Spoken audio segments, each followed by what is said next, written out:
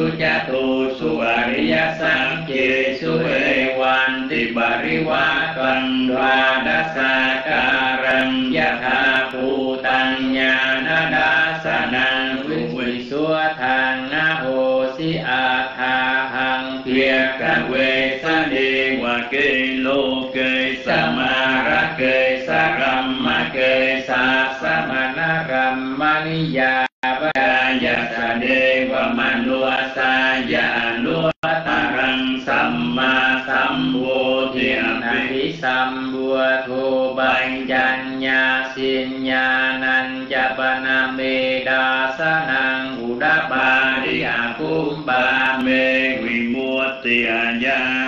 ติมาจาตินาติดานิวนาภาโวติอิดามะโวจัตตากวาอาตมนาปัญจวัคคียาภิกขุภะคะวะโตปัสสิตังอภินันโดนิมัสมินจะปนาเวยากรณัสมินพัญญมาเนยายัสมะโตโกนดัญญา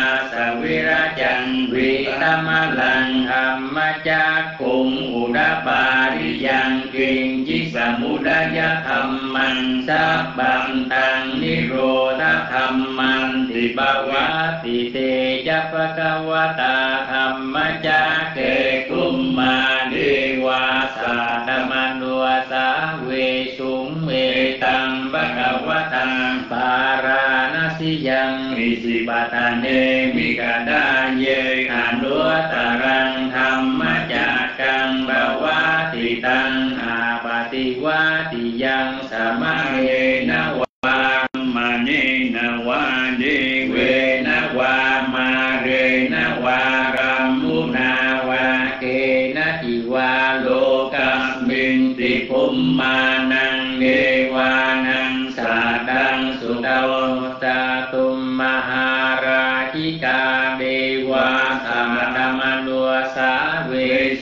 จาตุมมหาราชิกานังเดวานังสาดังสุตาทาวตินสาเดวาสาดมนุสาเวสุมตาวติงสานะเดวานังสาดังสุตวายามาเดวาสาดมนุสาเวสุงยามา ตตุสิตาเดวาสาดมนุสาเวสุงตุสิตานังเดวานังสาดังสุตานิมานรติเดวาสาดมนุสาเวสุงนิมานรตินังเดวานังสาดั ตวาบรณิมิตาวาสวาติเดวาสาดมนุสาเวสุงบารณิมิตาวาสวาตินังเดวานังสาดังสุตรัมมกายิกาเดวาสาดมนุสาเวสุงเอตัมภะกวาบาราณสิยังอิสิปตาเนมิกดาเยนุตรังธรรมจักกังบาวาติตังอาปติวัติยังสมเนนวารัมมเนนวาเดเวนวามาเรนวารัมมุนาวาเกนะจิวา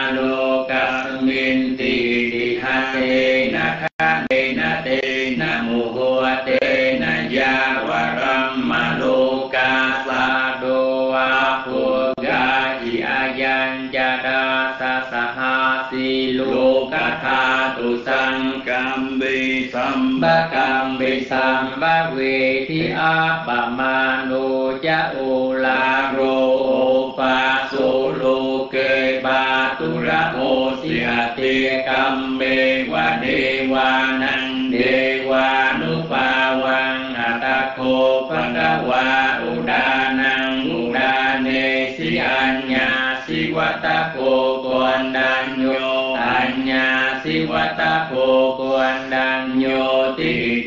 ติ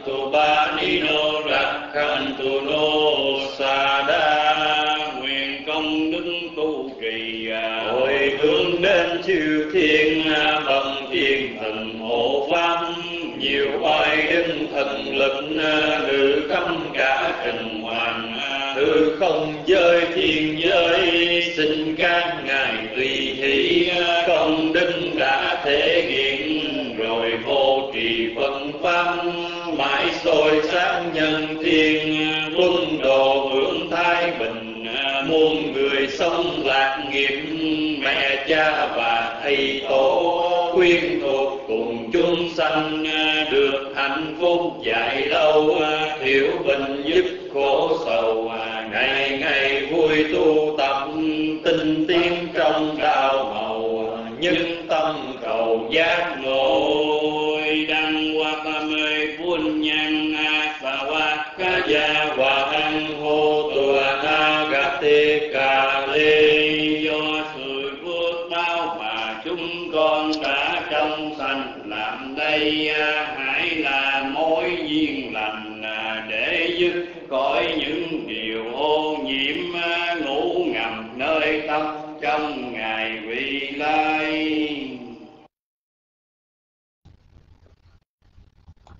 Nam mô Bút Tha Giá.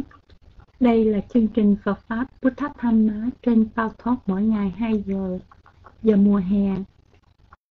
Chỉ từ 8 giờ đến 10 giờ tối.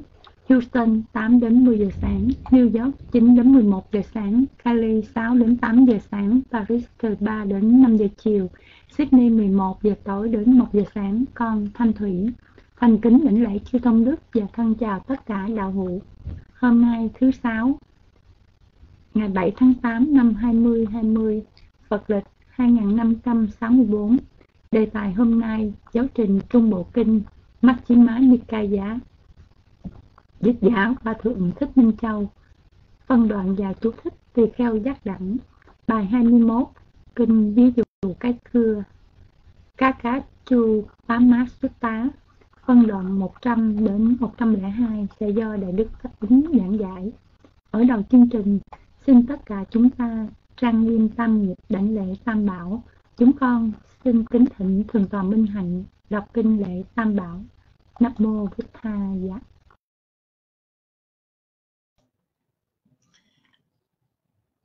Nhất tâm đảnh lễ Đức Như Lai, bậc ứng cúng chánh biến tri minh hạnh túc thiện thể thế gian giải.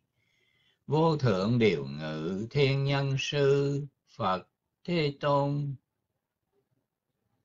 Nhất tâm đảnh lễ chánh pháp do Phật thiện thuyết thiết thực hiện tiền vượt ngoài thời gian đến để chứng nghiệm hiểu năng hướng thượng trí giả thân chứng Nhất tâm đảnh lễ chư tăng đệ tử Thế Tôn, bậc diệu hạnh, trực hạnh như lý hạnh, chân chánh hạnh, gồm bốn đôi tám vị đáng nhận lễ phẩm, tặng phẩm, tế phẩm, kính lễ là phước điền vô thượng trong đời. Nguyện cầu với Đức Phật bảo, nguyện cầu với Đức Pháp bảo, nguyện cầu với Đức Tăng bảo, Xin Tam Bảo gia hộ ngăn ngừa mọi tai ương, những hiện tượng bất tường, những mộng mị sâu xa, những nghịch duyên trở ngại thải đều mau tan biến. Nguyện muôn loài chúng sanh, người khổ xin hết khổ, người sợ hết sợ hãi, người sầu hết sầu bi. Biết cho với niềm tin, biết hỗ trì giới hạnh, biết lạc tru trong thiền Chư thiên đã vân tập xin tùy hỷ phước lành được các tường như ý rồi phản hồi thiên sứ. Chư toàn giác đại lực, chư độc giác đại lực, thinh văn giác đại lực, nguyện tổng trì uy đức, cầu phúc lành phát sanh.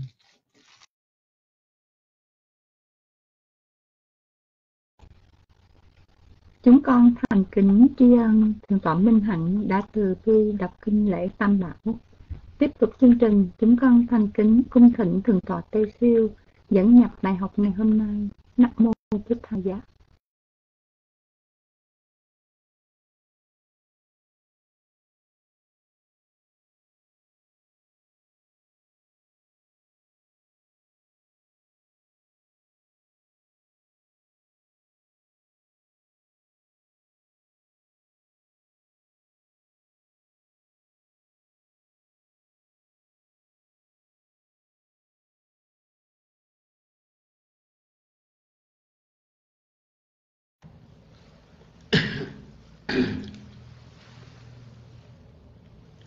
Xin hỏi vì có nghe được chúng ta nói không?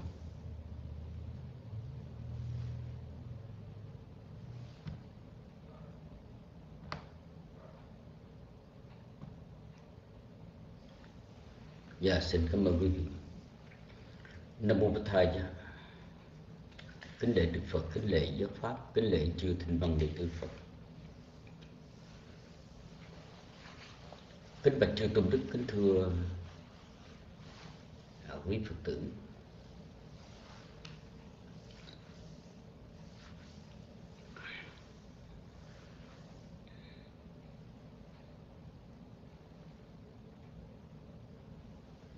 Đức Phật.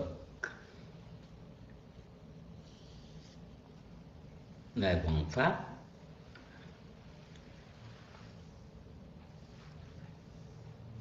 Tiếp độ chúng sanh nhất là ngài giáo huấn các vị tỳ kheo. Nó tùy trường hợp. Có khi thì à,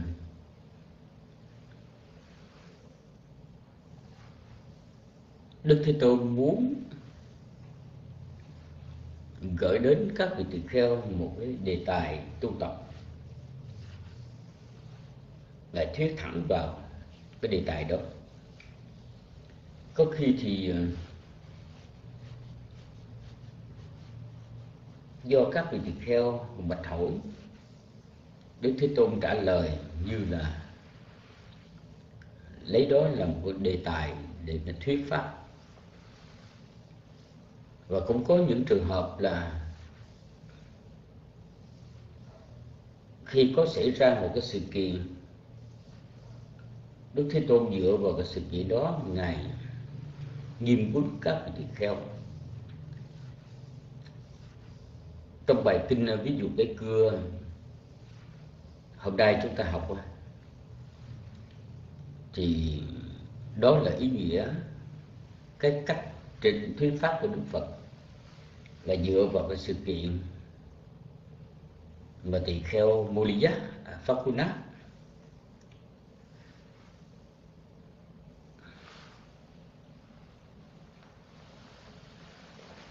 có cái tâm sân hận, có những lời nói không được tốt đẹp.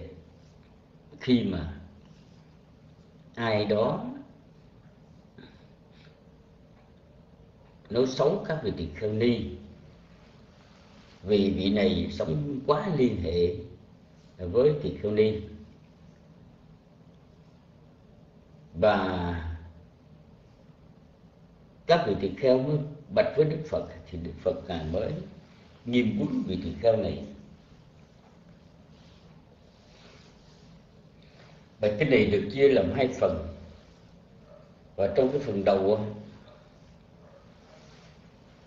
là chúng ta sẽ nghe nói đến Đức Phật ngài dạy cần phải học tập, giữ cái tâm không biến nhiễm, không hận, không sân, vân vân.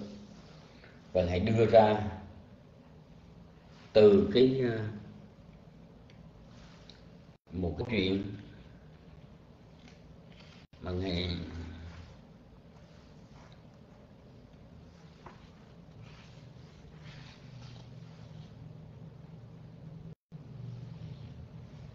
cậu từ câu chuyện hiện tại, ngài nói tới câu chuyện quá khứ. Từ vụ ngôn đi đến vụ ngôn đức thế tôn đã đưa ra lời dạy về cái thái độ ứng xử. Xứng đáng là một bậc xuất gia tầm cầu giải thoát. Nhưng hôm nay thì à, chúng ta chỉ học một phần đầu, tức là từ à, cái phân đoạn 100 cho đến phân đoạn 102 rồi ngày mai, chúng ta sẽ học từ phân đoạn 103 cho nên hết bài kinh.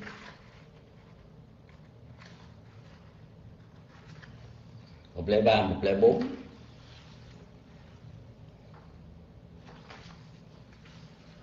Và bây giờ trước nhất thì à, xin mời à, cô Thanh Thủy đọc cho nội dung của hai phân đoạn bài học hôm nay. Sau đó sẽ cung thỉnh đại đức ờ, pháp tính vì giảng sư của ngày hôm nay thuyết giảng rộng rãi ý nghĩa này. Nam mô bổn thầy.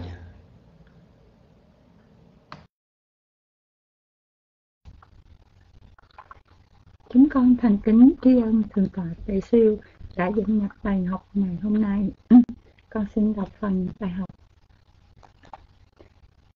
21 kinh ví dụ cái cưa. Cá cá chu tám má xuất tá phân đoạn một 100 đến 102 Tên kinh. Lấy từ một ví dụ ở cuối bài kinh để điểm nhấn quan trọng mà Đức Thế Tôn kêu gọi những đệ tử của Ngài hãy đọc, hãy học hành kham nhẫn ở mức độ là người hoàn toàn vô hại, đối với muôn loài chúng sanh. Bài kinh khởi đầu từ câu chuyện tỳ kheo Mô Lý Giá Phật Tú Ná. Vị này có quan hệ thân thiết quá nhiều với các tỳ kheo ni, đến mức độ có ai chỉ trích các tỳ kheo ni ấy. Thì Phaguna nổi nóng với phản ứng hết sức sân si. Câu chuyện trình lên Đức Phật và Ngài cho gọi Phật ná đến để nghiêm vấn qua lời dạy của Đức Phật, không phải là phân xử trong câu chuyện ai đúng, ai sai, mà là nội tâm có tu tập, đủ để kham nhẫn và giữ lòng từ mẫn, từ câu chuyện hiện tại tới câu chuyện quá khứ, từ ngụ ngôn đến dụ ngôn. Đức thế tôn đã đưa ra lời dạy về thái độ ứng xử xứng đáng là một bậc xuất gia tầm cầu giải thoát. 100 Người xuất gia cần luôn tâm niệm mình là ai để cư xử thích hợp Đời sống sa môn từ bỏ tất cả nhưng không có nghĩa là không gìn giữ tư cách kinh văn Như vậy tôi nghe một thời Thế Tôn ở Sa Quát Thi xá dậy tại Chetawana, Kỳ Đà Lâm. Dường ông Ana Thapin Bí Cá cấp cô độc. Lúc bấy giờ, tôn giả Mô Lý Pháp sống liên hệ với các tỷ kheo ni một cách quá độ. Tôn giả Mô Lý Giá Phaguna sống liên hệ với các tôn ni như sau. Con xin lỗi. Tôn giả Mô Lý Giá Phaguna sống liên hệ với các tỷ kheo ni như sau. Nếu có tỷ kheo nào trước mặt tôn giả Mô Lý Giá Phaguna nói xấu các tỷ kheo ni ấy, tôn giả Mô Lý Giá Phaguna liền phẫn nộ, bất mãn, dấn tội ngay. Nếu có tỷ kheo nào trước mặt các tỷ kheo ni ấy nói xấu tôn giả mối lý giá pháp ná các tỷ kheo ấy liền phẫn nộ bất mãn dấn tội ngay. Tôn giả mối lý giá pháp ná sống liên hệ với các tỷ kheo ni như vậy. Có một tỷ kheo khác đi đến chỗ thế tôn ở. Sau khi đi đến đảnh lễ thế tôn và ngồi xuống một bên. Sau khi ngồi xuống một bên tỷ kheo ấy bạch thế tôn. Bạch thế tôn tôn giả Moliya Pháp-cú-ná sống liên hệ với các tỷ kheo ni một cách quá độ. Bạch thế tôn tôn giả Moliya Pháp-cú-ná sống liên hệ với các tỷ kheo ni như sau. Nếu có tỷ kheo nào trước mặt tôn giả Moliya Pháp-cú-ná nói xấu các tỷ kheo ni ấy, môn giả, tôn giả Pháp-cú-ná liền phẫn nộ bất mãn và dẫn tội ngay nếu có tỷ kheo nào trước mặt các tỷ kheo ấy nói xấu tôn giả Moliya Phaguna, các tỷ kheo ni ấy liền phẫn nộ, bất mãn và dẫn tộc ngay. Bạch Thế Tôn, tôn giả Moliya Phaguna sống liên hệ với các tỷ kheo ni một cách quá độ như vậy. Thế Tôn gọi một tỷ kheo khác và bảo Này tỷ kheo, hãy đi, nhân danh ta cho gọi tỷ kheo Moliya giáo cứu ná. Hiền giả Phaguna Phật Đạo Sư gọi hiền giả, bạch Thế Tôn, dân. Tỷ kheo ấy dân đáp Thế Tôn, đi đến chỗ tôn giả Moliya ná. Khi đến xong liền thưa tôn giả Moliya ná. Hiền giả Moliya ná. Bậc đạo sư gọi hiền giả dân hiền giả. Tỷ kheo Moliya ná dân đáp tỷ kheo ấy đến chỗ Thế Tôn ở khi đến xong tỉnh lệ Thế Tôn rồi ngồi xuống một bên Thế Tôn nói với tôn giả Moli giả Pháp cú-na đang ngồi xuống một bên này Pháp Cú Ná, có đúng sự thật không như lời người ta đồn là ông sống liên hệ với các tỷ kheo ni một cách quá độ. Người ta đồn ông sống liên hệ với các tỷ kheo ni như sau. Nếu tỷ kheo nào trước mặt ông nói xấu các tỷ kheo ni ấy, ông liền phẫn nộ, bất mãn, dấn tội ngay. Nếu tỷ kheo nào trước mặt tỷ kheo ni ấy nói xấu ông, các tỷ kheo ni ấy liền phẫn nộ, bất mãn, dấn tội ngay. Này, Phật cứu Ná, có phải ông sống liên hệ với các tỷ kheo ni như vậy? Bạch Thế Tôn, có như vậy. Này, phật cứu Ná, có phải ông là thiện nam tử vì lòng tin đã xuất gia từ bỏ gia đình sống không gia đình? Dân, thưa dân Bạch Thế Tôn. Này Phá quý Ná, thật không xứng đáng cho ông một thiện nam tử vì lòng tin đã xuất gia từ bỏ gia đình sống không gia đình mà sống liên hệ với các sĩ kheo ni một cách quá độ như vậy. Do vậy, này Pháp Vũ Ná, nếu có ai trước mặt ông nói xấu các vị kheo ni ấy, này Pháp Vũ Ná, ông phải từ bỏ những dục liên hệ đến thế tục, những tư duy liên hệ đến thế tục, này Pháp cú Ná. Ông phải học tập như sau, mong rằng tâm của ta sẽ không bị biến nhiễm. Mong rằng ta sẽ không nói những lời ác ngữ, mong rằng ta sẽ sống với lòng lân mẫn, với tâm từ bi, không ôm lòng sân hận. Này Pháp núi Hú Ná, ông phải học tập như vậy. Do vậy, này phá cú ná. nếu có ai trước mặt ông, lấy tay đánh những tỷ kheo ni ấy, lấy đất ném, lấy gậy đập, lấy gương đấm đánh, này phá cú ná. ông phải từ bỏ những dục, dân dân, không ôm lòng sân hận, này phá cú ná. Ông phải học tập như vậy, do vậy, này phá cú ná. Nếu có ai trước mặt ông nói xấu ai, này núi, Cú Ná, ông phải từ bỏ những dục, dân dân, không ôm lòng sân hận, này phát Cú Ná. Ông phải học tập như vậy, do vậy, này phát Cú Ná. Nếu có ai trước mặt ông lấy tay đánh, lấy đất ném, lấy gậy đập, lấy gươm đánh này phát Cú Ná.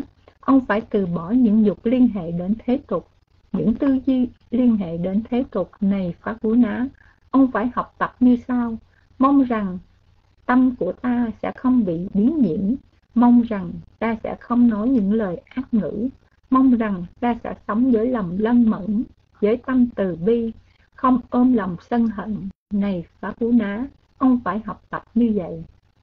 101. Một tỳ kheo có tâm nhu thuận, thuần quả là có điều kiện để trưởng thành trong giáo pháp. Người muốn tiến bộ trên đường đạo cần có tâm thành cầu học, cầu tu, kinh văn. Rồi Thế Tôn nói với các tỷ kheo, Này các tỷ kheo, một thời các tỷ kheo của ta có tâm rất thùng thục van hỷ. Này các tỷ kheo, ở đây ta bảo các tỷ kheo, này các tỷ kheo, ta theo hạnh nhất tọa thực. Chư tỷ kheo sống theo hạnh nhất tọa thực.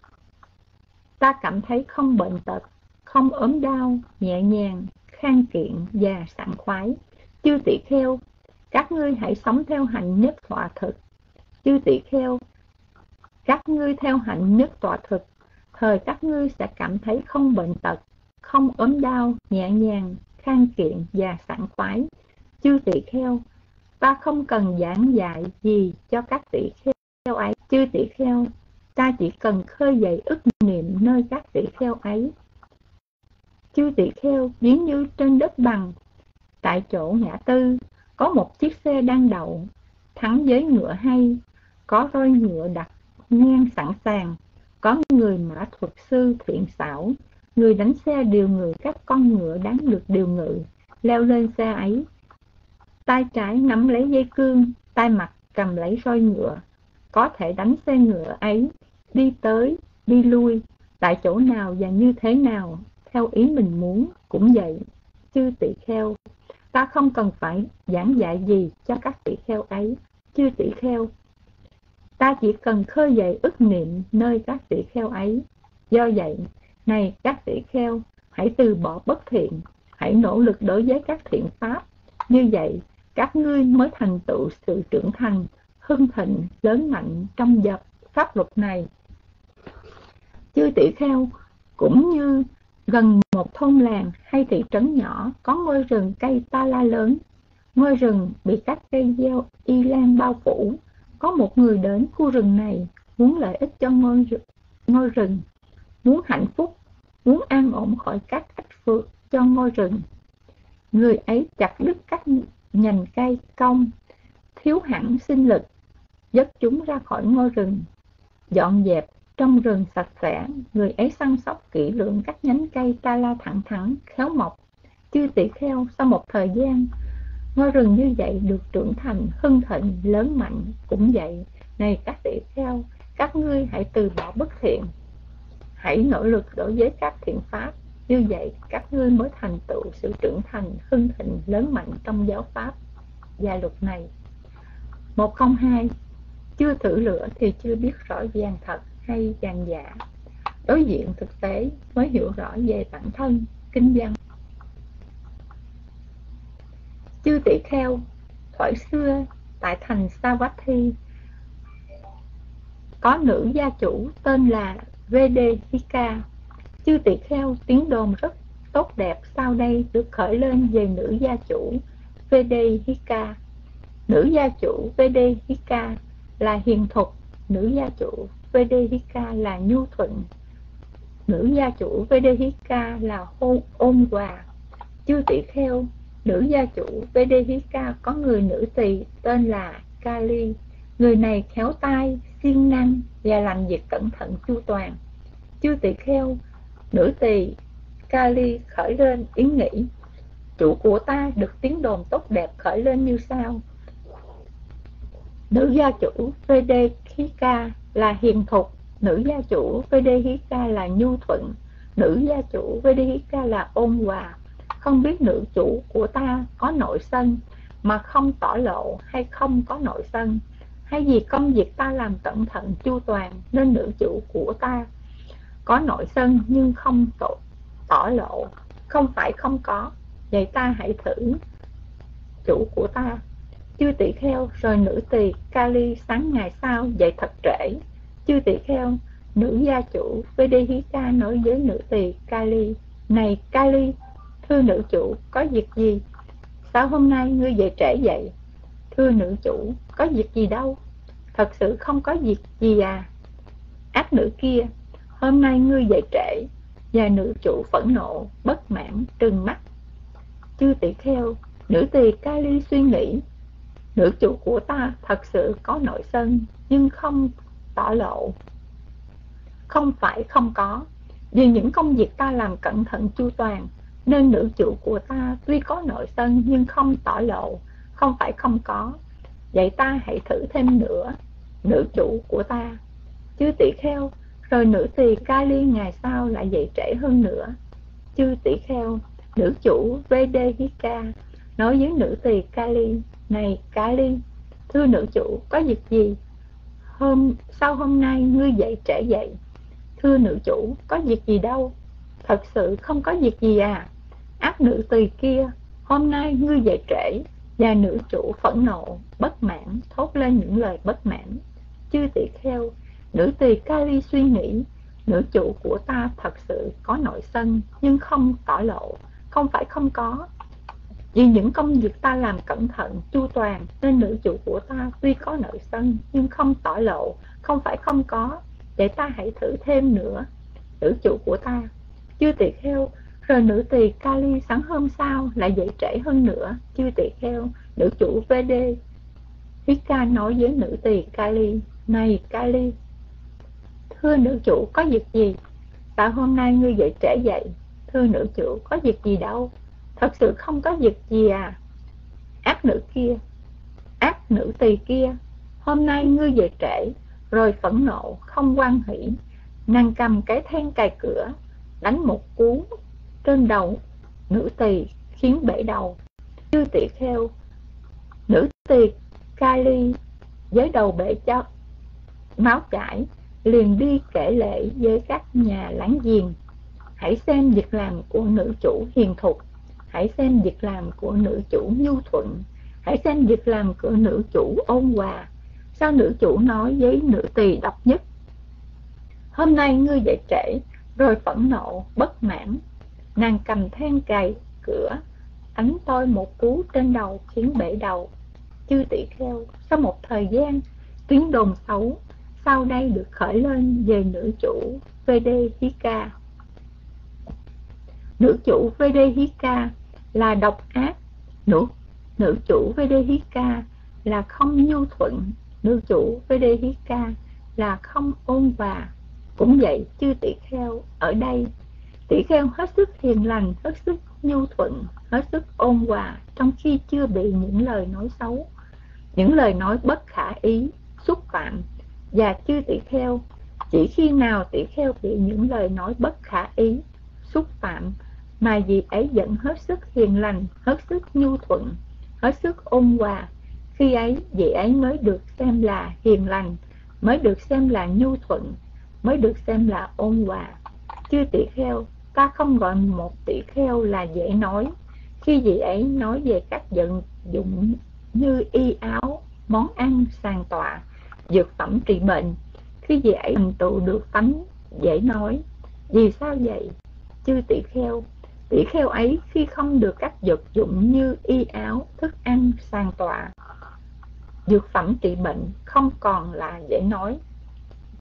Không còn là thành tựu tánh dễ nói. Chư tỷ kheo tỷ kheo nào tôn trọng pháp, cung kính pháp, sung kính pháp trở thành dễ nói, thành tựu tánh dễ nói.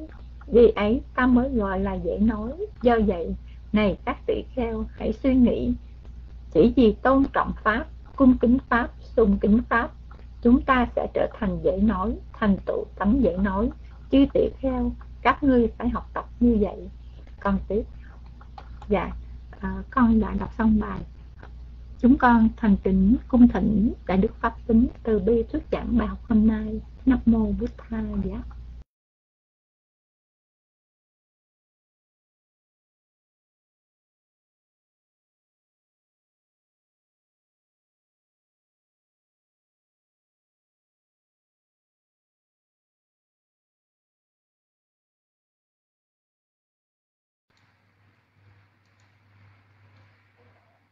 Nam mô bút Thầy giá, Nam mô Tham Ma giá, Nam mô sanh Kha giá.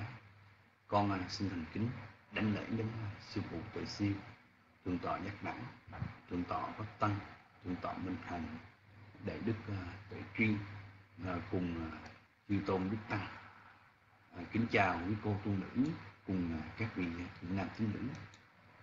Kính thưa quý vị, ngày hôm nay thì chúng ta học một cái bài kinh à, có tựa đề là ví dụ cái cưa à, thì à, nếu mà ai đó mà, mà chúng ta đọc là hết cái bài kinh này thì chúng ta thấy rằng ở cái cái đoạn cuối có nói về là một cái cưa có nghĩa là cái giống như là một cái một cái vị tỷ kheo à, tu tập à, khi mà người ta à, dùng cái cưa mà người ta cưa mình à, thì à, cũng không có à, cái cái tâm sân à, cái tâm nóng giận. Do vậy á, mà chúng ta thấy rằng ở trong cái phần hồi nãy chúng ta vừa nghe đọc chúng ta không có thấy cái cưa ở đâu hết mà không có thấy cái cái gì nó liên quan. Thành ra mà ở trong cái bài kinh này là à, tựa đề là à, ví dụ cái cưa. Nó dò lấy cái đoạn cuối à, để mà làm cái à, cái tựa bài. Thì à, cái bài kinh này đó là do là do đâu quý vị?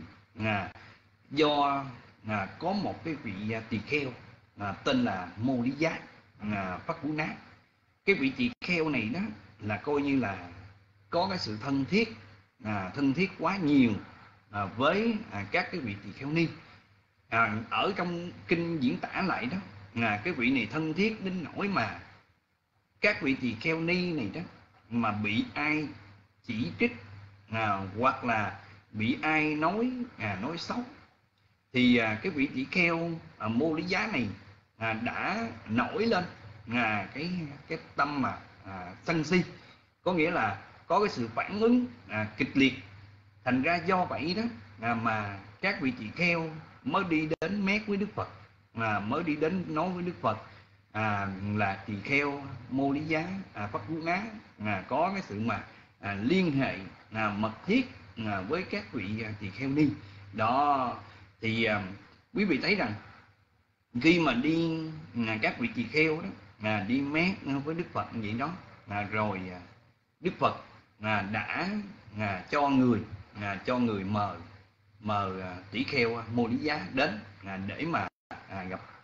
Quý vị thấy rằng á, coi vậy chứ ở trong thời xưa đó à, các vị tỷ kheo khi mà được đức phật hỏi à, các vị trả lời à, rất là à, thành thật à, đức phật à, kêu à, cho người à, ừ, cho người đi kêu à, tỷ kheo mô lý giá đến đó. thì đức phật hỏi là à, người ta nói rằng á, là mô lý giá đó à, là thân thiết à, với các vị tỷ kheo tỷ kheo ni đó à, rồi à, mỗi khi mà à, nghe ai nói xấu à, à, hoặc là nghe ai chỉ trích các vị tỷ kheo ni à, mô lý giá liền à, phẫn nộ à, bất mãn à, vấn tội à, người ta ngay cái lúc đó à, có à, phải như vậy không? Đó thì quý vị thấy rằng đó lúc đó đó à, tỷ kheo mô lý giá và bạch đức thế tôn và bạch thế tôn phải à, con à, con có như vậy.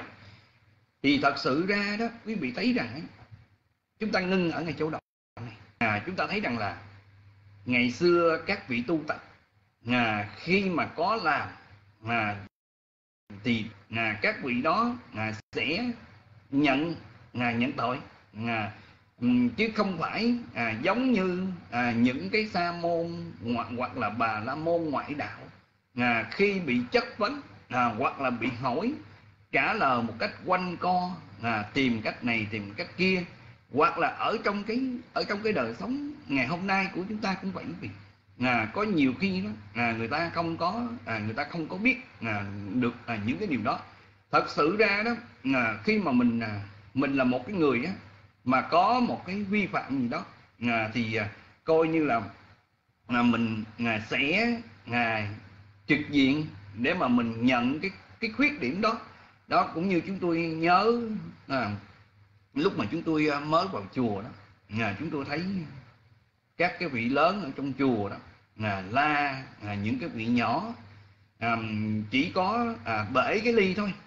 À, bể cái ly thôi. Thì à, lúc đó đó à, ừ, chúng tôi thấy cái vị à, cái vị ừ, tỳ kheo ở trong chùa à, quát à, những cái vị nhỏ à, rất là nhiều. Thì à, mới đầu á à, chúng tôi nghĩ rằng là, là không lẽ có một cái ly thôi à, mà tại sao mà à, la lớn như vậy? Nhưng mà khi mà chúng tôi chú ý à, chúng tôi thấy cái cách dạy dỗ à, của một cái vị sư lớn à, mà dạy cho à, những cái chú giới tử à, mà chuẩn bị à, tu tập trở thành một cái vị sa di. Cái vị sư đó nó à, la nói rằng là sư không phải là à, sư tiết cái ly à, mà sư la con à, nhiều như vậy.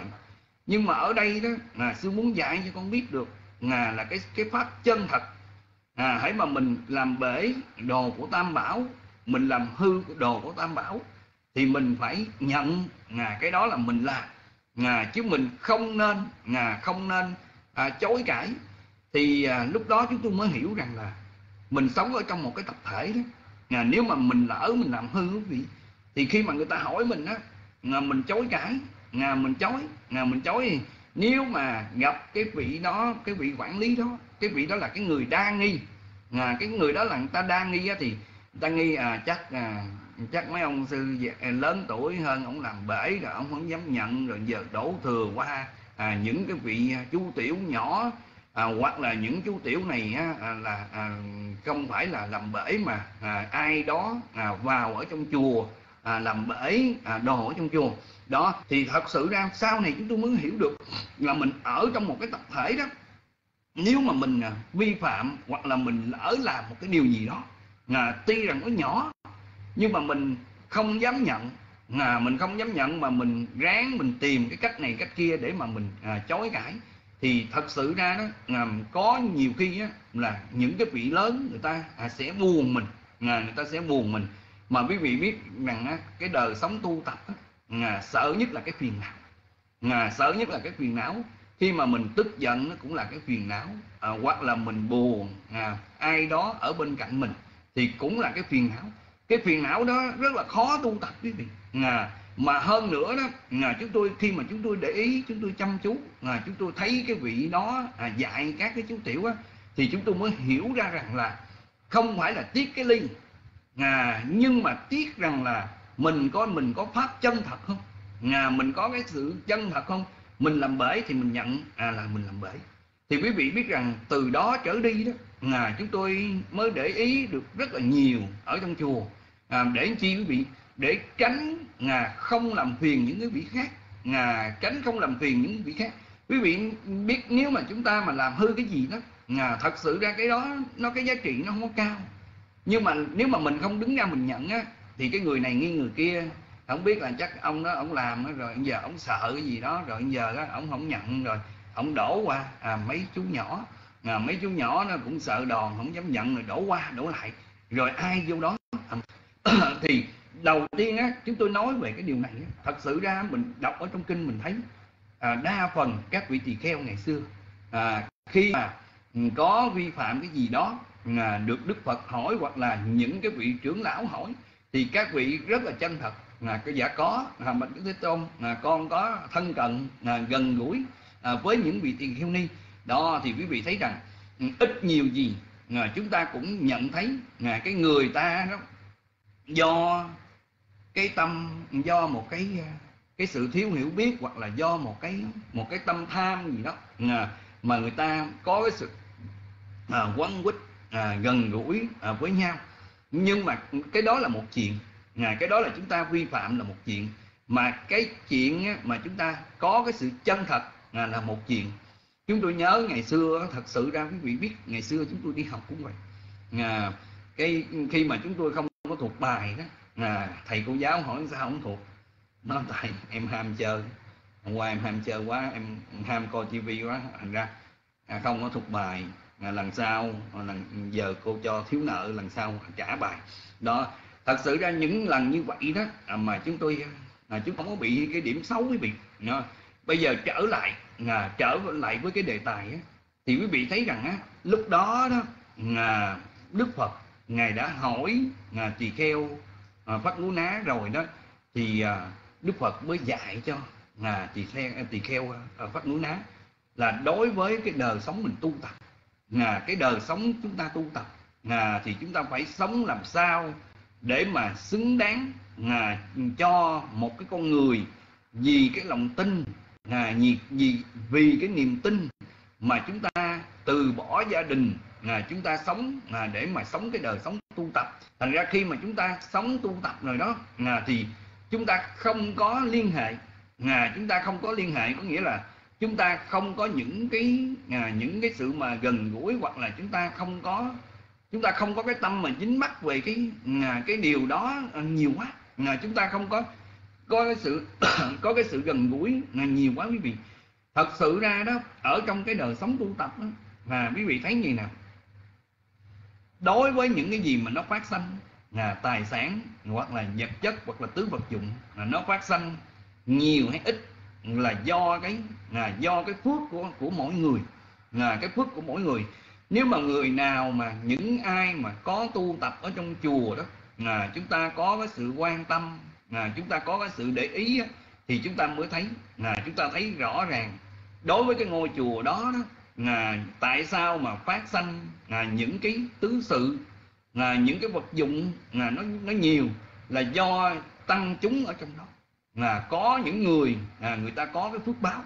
Đó thành ra quý vị thấy rằng ở trong cái ngôi chùa đó đầy đủ. Rồi ngược lại đó là tại sao mà, mà trong cái hội chúng đó à, trong cái hội chúng đó mà có những cái sự lục đục mà thì quý vị thấy rằng á, nó có nhiều cái vấn đề lắm quý vị. À, nó có nhiều cái vấn đề lắm. À, có nghĩa là quý vị thấy rằng á, ngay cả quý vị biết là có những cái thời gian đó là chúng tôi à, à, bận công việc à, thành ra không có à, không có theo dõi à, ở trong chùa à, được một cách mà à, mà mà mà sâu sắc.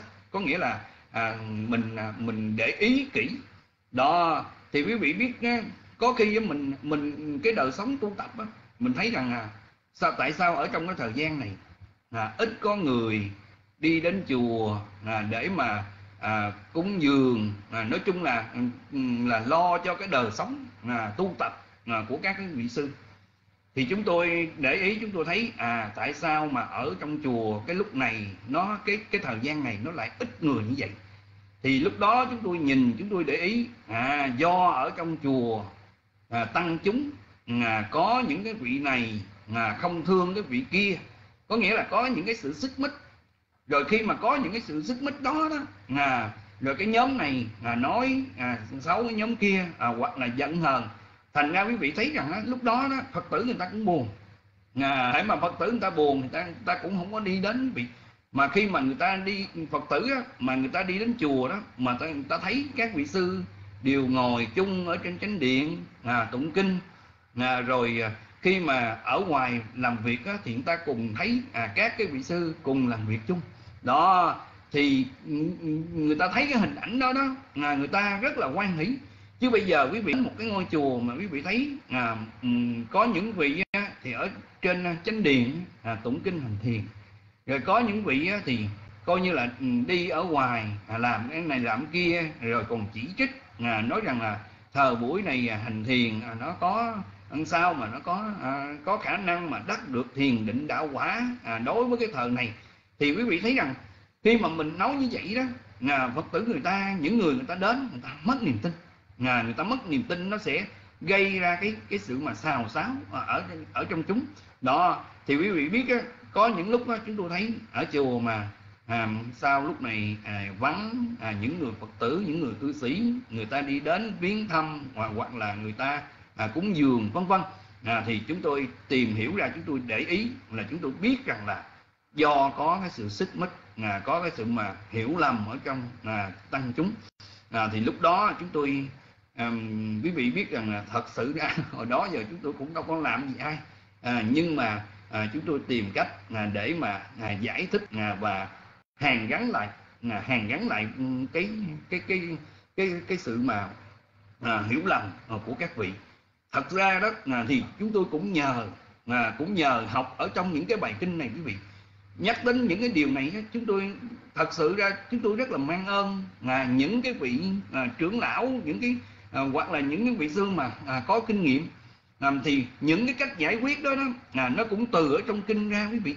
Hồi lúc trước đó, chúng tôi đọc ở trong ở trong kinh à, chúng tôi thấy rằng à, có một cái trường hợp á, à, có một cái trường hợp á mà tăng chúng mà xảy ra chuyện à, xảy ra chuyện thì lúc đó đó là cái người đó đó là phải có cái người mà đứng ở trong nhóm đó, là trưởng nhóm đó, phải có một cái sự kinh nghiệm. Thì ở trong đó nói rằng là à, giống như là lúc đó là chúng ta à, lấy cỏ mà chúng ta lấp qua. Là chúng ta lấp, à, lấp lên cái giống như một cái đoạn đường đi đó nó có bị một cái chỗ nó nó dính phân. À, thì chúng ta phải à, lấy cỏ chúng ta lấp lại à, và chúng ta đi qua luôn. Thì lúc đó chúng tôi đọc chúng tôi không có hiểu được à, sau này khi mà đi hỏi à, đến ngài các à, vị trưởng lão đó thì các vị mới giải thích à, giải thích cho chúng tôi biết là lấy cỏ lấp qua lại là có nghĩa là như thế nào. Có nghĩa là bây giờ ở trong ở trong chùa là có hai nhóm người ta à, buồn phiền với nhau. À, thôi thì bây giờ mình sẽ đứng ra cũng như là mình nhận à, cái đó là cái lỗi do mình. À, cái lỗi do mình cái bữa đó mình sơ sức à, mình sơ sức thành ra à, mình thốt ra cái lời đó hoặc là à, nói chung là ở trong những cái vị mà đứng đầu ở trong một ở trong những cái cái chỗ đó đó là phải có cái sự mà à, đứng ra là nhận là nhận đó là cái khuyết điểm của mình. Đó thì cũng như là giống như là mình phá lấp là mình phá lấp để cho à, mọi chuyện được giải quyết là một cách yên đẹp à, và các vị không có còn cái à, cái sự mà mâu thuẫn à, với nhau nữa. Thành ra quý vị thấy rằng đối với cái đời sống tu tập ấy, là chúng ta không phải là chúng ta không quan tâm là, là chúng ta bỏ hết là chúng ta bỏ hết quý vị là không phải. Có những cái điều à, có những cái lúc à, mà chúng ta cảm thấy rằng là à, những cái việc đó mình cần phải thân cận là mình cần phải quan quán sát là một cách à, à, nó à, sát sao à, nó khao khích à, ở trong đó. Rồi có những khi đó là có những cái trường hợp đó, là như ở trong cái bài học này á chúng ta không cần là phải có những cái cái tư duy có nghĩa là để tâm là để cái sự suy nghĩ nhiều về cái đời sống ở bên đó là ở bên là tỳ kheo ni hoặc là ở trong hội chúng. Là có những lúc chúng ta à, không cần à, quan tâm nhiều quý vị. Những cái gì mà nó liên quan à, đến cái đời sống tu tập là nó ảnh hưởng hay là nó không ảnh hưởng à, đến cái đời sống tu tập thì những cái chuyện đó đó là chúng ta sẽ để tâm là chúng ta suy nghĩ à, nhiều về cái chuyện đó.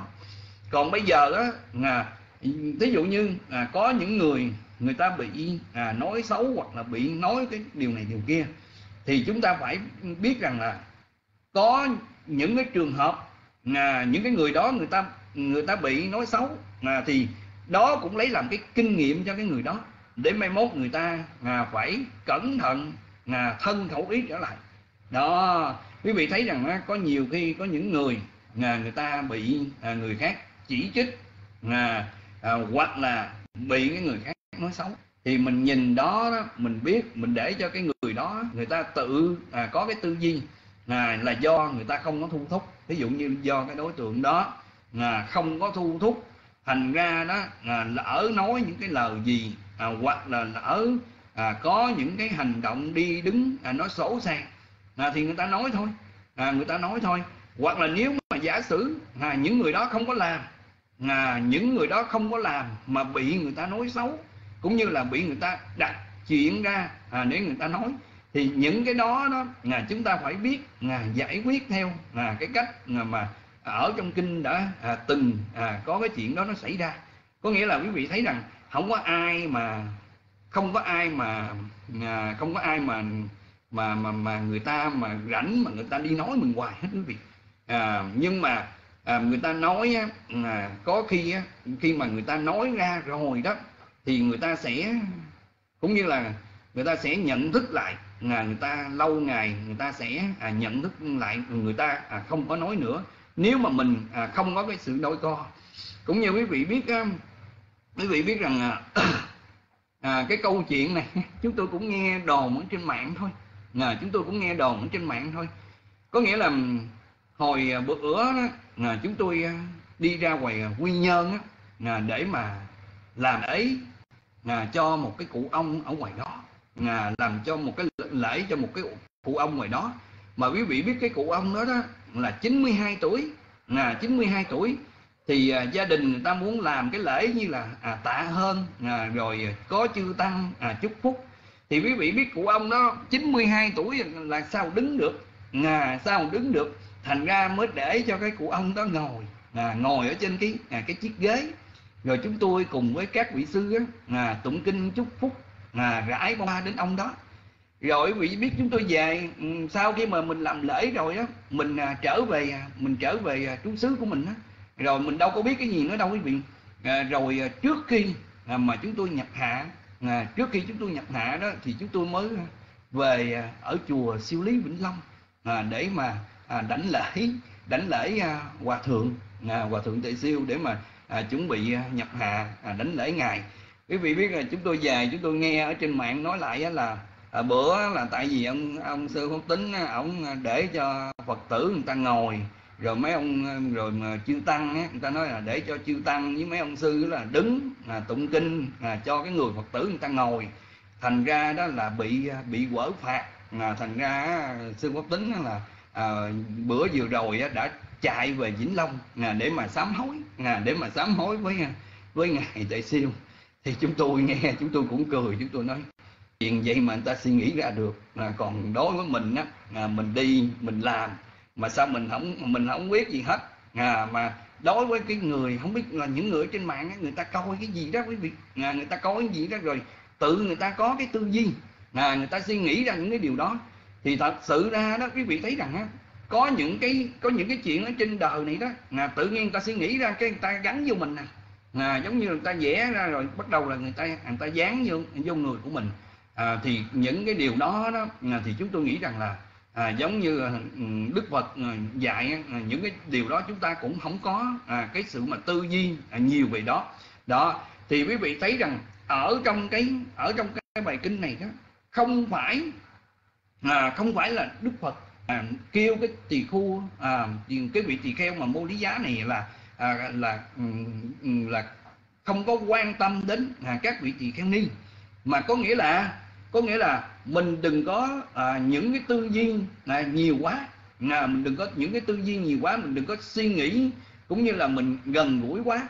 À, cũng như chúng tôi thật sự ra cái cái điều này á, nó liên hệ đến cái đời sống tu tập à, tu tập rất là nhiều quý vị biết chúng tôi có những những cái vị sư bạn đó, à, khi mà đi tu tập rồi đó các cái vị sư đó đó là nóng ruột à, nóng ruột cái giáo pháp này hay quá mà tại sao cha và mẹ anh chị em của mình à, không lo tu tập à, không đi đến chùa vào những ngày chủ nhật à, để tu tập. Thành ra những cái vị sư đó nóng ruột à, cứ chạy về nhà để cái tâm mong rằng là sẽ tế độ được à, những người ở trong gia đình. Thì đó chúng tôi cũng khuyên không phải là mình bỏ bê gia đình của mình. À, nhưng mà các vị cứ ráng tu tập. À, các vị cứ ráng ở chùa tu tập đi. À, một hai năm ba bốn năm mình không trở về nhà. À, mình lo mình tu tập. Thì khi mà những người đó người ta đi đến người ta hỏi à, tại sao mà có cái đạo này gọi là Phật giáo Nam truyền? Tại sao cái đạo này gọi là Phật giáo phát triển? À, tại sao Phật giáo này như thế này? À, cái chỗ này làm vậy cái chỗ kia làm vậy? Thì mình trả lời à, đầu đuôi à, nó rõ ràng. À, thậm chí à, mình phải à, có cái sự mà hiểu biết à, để mà trả lời à, nó đúng với cái để mà đúng cái trường hợp để mà người ta hiểu. Thì từ đó từ từ đó là mình sẽ tế độ được gia đình của mình. À, chứ bây giờ mà mình cái gì mà mình nóng ruột quá đó là mình không có tế độ được quý vị. Chúng ta mà ừ, ừ, thật sự ra đó mình nóng ruột quá mình mình tế độ không được. Thì cũng vậy khi mà mình liên hệ mình để tâm mình suy nghĩ đến các vị tỳ kheo nhiều tỳ kheo ni nhiều quá đó à, thì lúc đó đó ví dụ như mình thấy ai mà nói xấu à, đến những cái vị đó là coi như là mình mình phẫn nộ. À, mà hãy mà mình phẫn nộ cái tâm mình phẫn nộ lên đó thì lúc đó nó thuộc về cái tâm bất thiện. À, mà quý vị thấy rằng khi mà cái tâm thiện đó à, nó mới có à, vô tham vô sân hoặc là nó có trí tuệ thì những cái à, những cái những cái này nè những cái tính chất này nè nó sẽ làm cho chúng ta đủ cái sự bình tĩnh à, để mà chúng ta giải quyết à, được à, những cái chuyện đó. Chúng tôi nhớ ngày xưa đó à, khi mà còn ừ, hòa thượng ân sư đó là có khi những người này những người kia à, người ta có cái sự tranh cãi với nhau. À, lúc đó hòa thượng à, rất là bình tĩnh. À, hòa thượng mới nói mờ đầu bên đây à, bên đây trình bày đi sư nghe. Đó mà bên đó người ta đang trình bày đó quý vị biết bằng rằng là bên kia mà người ta trả lời vô cái là hòa thượng phát tay kêu im để bên đây trình bày hết. À, rồi xong rồi mới mời bên đây. Thì khi mà bên này trình bày xong bên kia trình bày xong à, thì hòa thượng mới nói à, cái này không phải cái này như vậy như vậy là không phải vân vân. Thì cuối cùng à, cũng làm cho à, đôi bên người ta không còn cái sự mà à, ghét nhau hoặc là người ta không có còn cái sự hiểu lầm. Thì chúng tôi muốn nói ra cái điều này là quý vị thấy rằng đó là do lúc đó đủ bình tĩnh quý vị. À, chúng tôi và ở trong cái thời gian này đó à, chúng tôi học được cái cái phiền não chướng quý vị. À, cái phiền não chướng á, là quý vị biết như thế nào? Có nghĩa là bình thường chúng ta rất là à, chúng ta rất là giỏi. À, bình thường chúng ta rất là nhạy trí. Nhưng mà khi mà đụng đến à, đụng đến cái gì đó của chúng ta à, bà con quyến thuộc hoặc là đồ vật hoặc là danh dự gì của mình đó. À, thì lúc đó là tự nhiên là mình nổi tam bành lục tặc lên. Có nghĩa là tâm sân của mình nó nổi lên. À đó là cái đó gọi là cái phiền não chướng. Là cái phiền não chướng chứ bình thường á quý vị thấy rằng có nhiều người á chuyện của ông ta giải quyết hay lắm. À, cái nhóm đó với nhóm kia gây lộn. À, hoặc là cái nhóm đó nhóm kia là người ta giận hờn nhau. Mình đi đến mình giải quyết à, cái chuyện này nó không phải à, này kia vân vân nhưng mà đến cái chuyện của mình á, là coi như là mình đùng đùng là mình nổi giận liền. Là mình đùng đùng mình nóng lên. Thì cái đó, đó là cái phiền não chướng. À, cái đó là cái phiền não chướng. Thành ra đó ở trong cái ở trong cái đoạn kinh này đó chúng tôi nghĩ rằng á là không phải là không phải là bỏ rơi là những vị tỳ kheo ni. À, nhưng mà do mình quá gần gũi thành ra giống như là nói theo cái ngôn ngữ thời nay á mình thấy người ta bị một chút là đau mình cũng nóng ruột. Là mình nóng ruột thành ra lúc đó mình không có à, không có làm cái cái gì được ở trong cái trường hợp đó. Mà ngược lại nó sẽ làm à, những cái điều mà à, nó sẽ à, giống như là mình bị vi phạm với chúng ta. Thành ra quý vị nhớ tới cái bài kinh á, mà mình à, bài kinh mà rải tâm từ đó. À, thì quý vị thấy rằng á, mình tu tập tâm từ á, mà mình tu tập tâm từ mình phải tu với cái đối tượng là như thế nào? Ngài những bậc thầy có ân đức với mình. Ngài những cái bậc thầy có ân đức với mình. Rồi khi mà mình có tâm từ á, mình có lòng từ mình có tâm từ rồi đó thì lúc đó đó à, mới đến là những người mà thân xa rồi đến những người thân gần. Đó thì tại sao mà mình tu tập tâm từ á, mà mình không tu tập thẳng đến là cái người thân gần của mình? À, hoặc là à, quyến thuộc của mình. Là tại sao mà mình không tu tập thẳng đến những người đó trước? Là mà mình phải tu tập là tâm từ à, với cái đối tượng là thầy tổ của mình những người có ân đức. Là tại vì sao quý vị? Tại vì khi mà chúng ta những người quyến thuộc đó nó quá gần với chúng ta. Thành ra thậm chí mà quý vị thấy rằng á, là đêm mà mưa gió trở trời à, là chúng ta cũng có một cái sự nóng ruột rồi. À, chúng ta cũng có một cái sự khó chịu. Thành ra khi mà tu tập tâm từ thì tốt nhất là chúng ta nhớ về ân đức à, của những cái bậc trưởng lão của những cái bậc thầy tổ của mình à, để mà mình mình hướng tâm đến à, mình mong cho à, cái vị đó à, được an vui được khỏe. Còn đối với những cái người thân của mình thì khi mà mình đủ cái cái định lực rồi đó à, thì mình sẽ hướng tâm đến à, đến cái người cái người thân à, của mình à, cái người thân ở xa ở gần gì đó vân vân khi mà mình đủ một cái à, một cái nội lực rồi. Thành ra đó à, lúc đó đó à, đức phật đã dạy cho đối với mô lý giá đó à, pháp muốn ná này nếu có ai mà ở trước mặt à, trước mặt ông đó mà có đánh à, cái vị tỳ kheo ni đó bằng gôm bằng đá bằng cây gì đó thì mình cũng phải à, từ bỏ à, cái lòng sân hận à, không có à, không có cái sự sân hận ở trong đó. Như vậy đó à, thì mới gọi là cái người mà có cái sự tu tập à, cái người mà có cái sự mà có cái tâm từ bi. Tại vì quý vị thấy rằng khi mà mình tu tập á, là mình có cái tâm từ bi với à, tất cả chúng sanh. Quý vị thấy à, đối với à, à, ở trong quá khứ đó là đức phật quá khứ khi mà à, đi với hai vị thượng thủ thiên văn ác ma du si lúc đó là coi như là đã à, đã à, à dùng cái à, dùng cái một cái một cái miếng đá đó mà đánh vô đầu một cái vị thượng thủ thiên văn chảy máu. Thì quý vị thấy rằng lúc đó đức phật à, cũng nhìn à, cũng nhìn cái cái ác ma du si đó mà đức phật chỉ nói là ác ma du si á, chịu không nổi cái nghiệp quả này. À, chịu không nổi cái nghiệp quả này. Chứ thật sự ra quý vị thấy rằng đối với đức phật ngài ngài cũng có đủ thần thông để mà để mà làm lại à, những cái chúng sanh này. Nhưng mà à, ngài không có làm những cái điều đó. Nói đến đây á, có những người ta nói rằng là à, mình à, mình nói vậy á, à, tại vì đức phật người ta nhịn được. À, các ngài có nội lực à, các ngài nhịn được. Còn đối với mình phàm phu á, thì sao mình nhịn được quý vị? Mình nhịn không được chính vì vậy mình phải tu tập. À, mình nhịn không được à, thành ra chính vì vậy à, mình phải à, mình phải tu tập. Tại vì mình chưa thành phật à, thành ra bây giờ à, mình phải à, tu tập à, để có à, những cái đức tính đó. Chứ nếu mà bây giờ mình không mình không tu tập thì thì làm sao à, làm sao mà mình à, trở thành một cái vị à, một cái vị thánh nhân? À, chứ mình chờ lúc đó mình là một cái vị thánh nhân rồi đó à, mình mới có cái tâm xã đồ này kia mới à, nhìn những cái ánh mắt là giống như đức phật. Mà bây giờ chúng ta à, không chịu à, tu à, thì chúng ta không thể nào mà chúng ta à, trở thành một cái bậc à, mà có một cái nội lực như vậy à, hoặc là đối với à, ở trong pháp cú kinh à, quý vị thấy rằng à, đức phật cũng dạy với hận diệt hận thù đời này không không thể được. À, đời này không thể được. Với hận mình lấy cái sự chiến tranh à, người ta chừng mình chữ lại chữ qua chữ lại thì làm sao mà diệt được hận thù? Chỉ có từ bi mà diệt hận thù thôi. À, từ bi mới diệt được hận thù.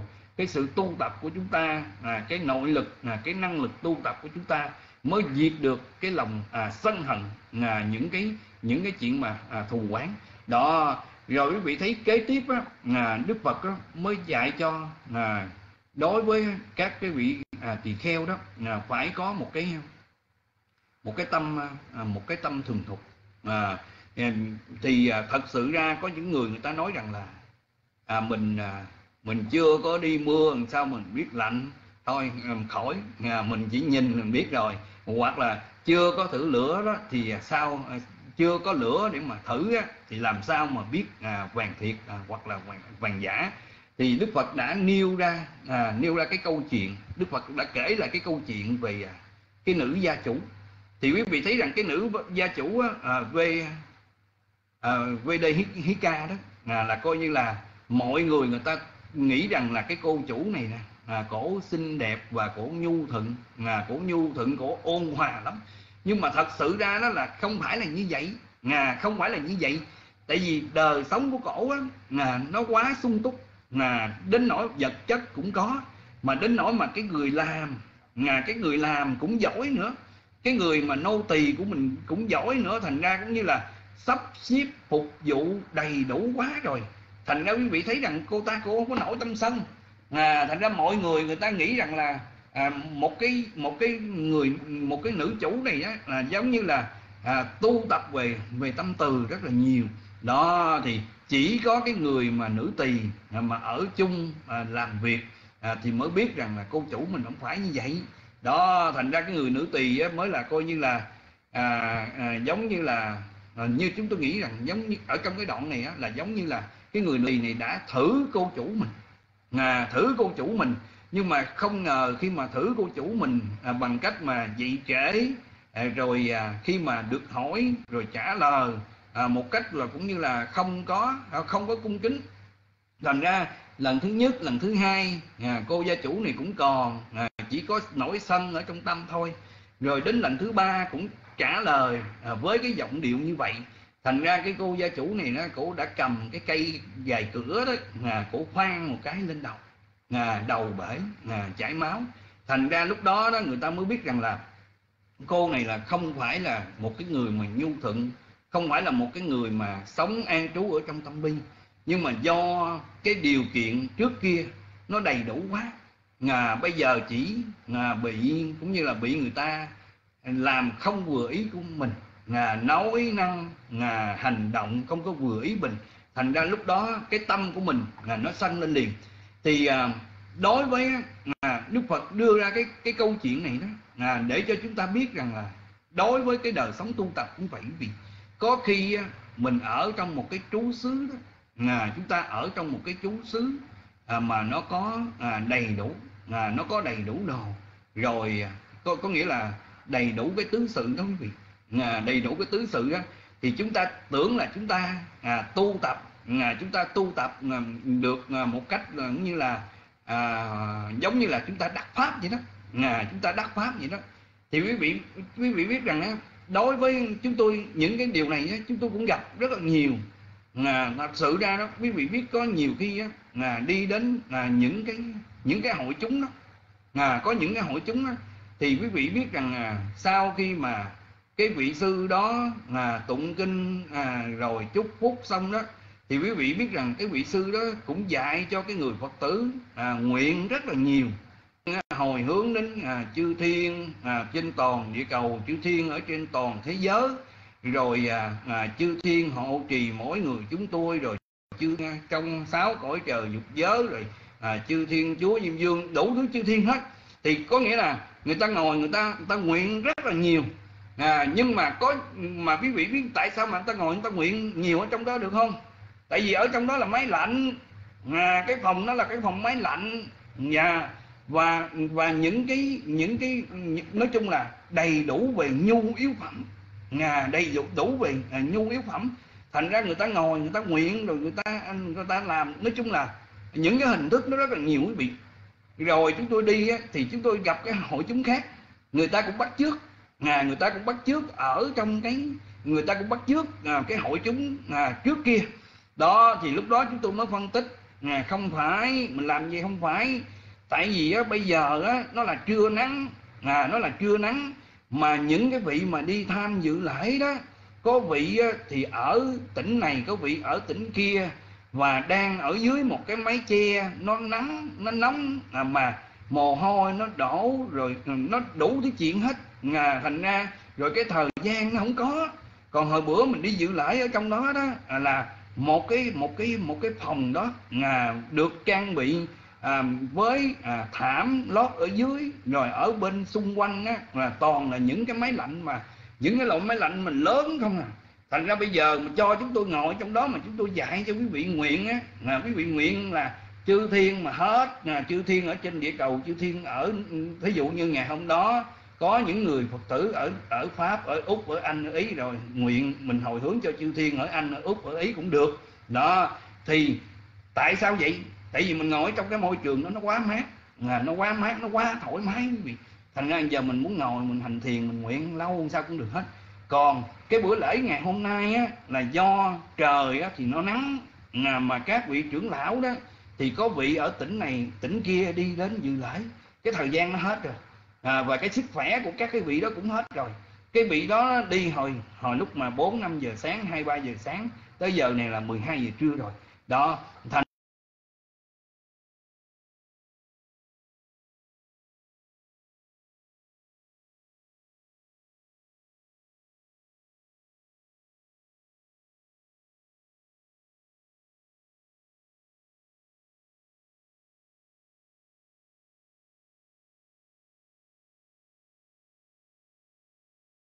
thấy rằng những người đó giống như là họ có cái tánh dễ dãi. À, họ có cái tánh dễ dãi lắm. Đó ừ, nhưng mà nếu mà thử mà mình ở một cái môi trường khác à, mà nó có thiếu thốn gì nó có nó thiếu thốn nó không có đầy đủ mà lúc đó mình cũng dễ tu tập à, mình dễ ở lại à, thân cận gần gũi à, với cái vị sư đó cái vị trưởng lão đó để mà chúng ta học mà chúng ta cung kính chúng ta học mà pháp vân vân thì như vậy đó thì mới trở thành à, cái người mà dễ nói hoặc là cái người dễ dạy.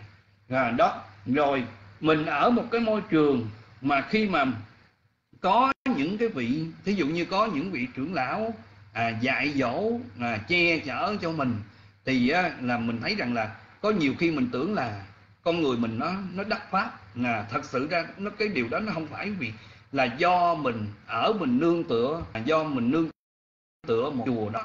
Mình nương tựa à, những cái vị trưởng lão đó. Thành ra đời sống mình nó nói chung là được bảo vệ à, được bảo vệ. Chúng tôi nhớ cái câu này ngày ngày xưa chúng tôi học ở ở siêu lý ở vĩnh long cũng vậy.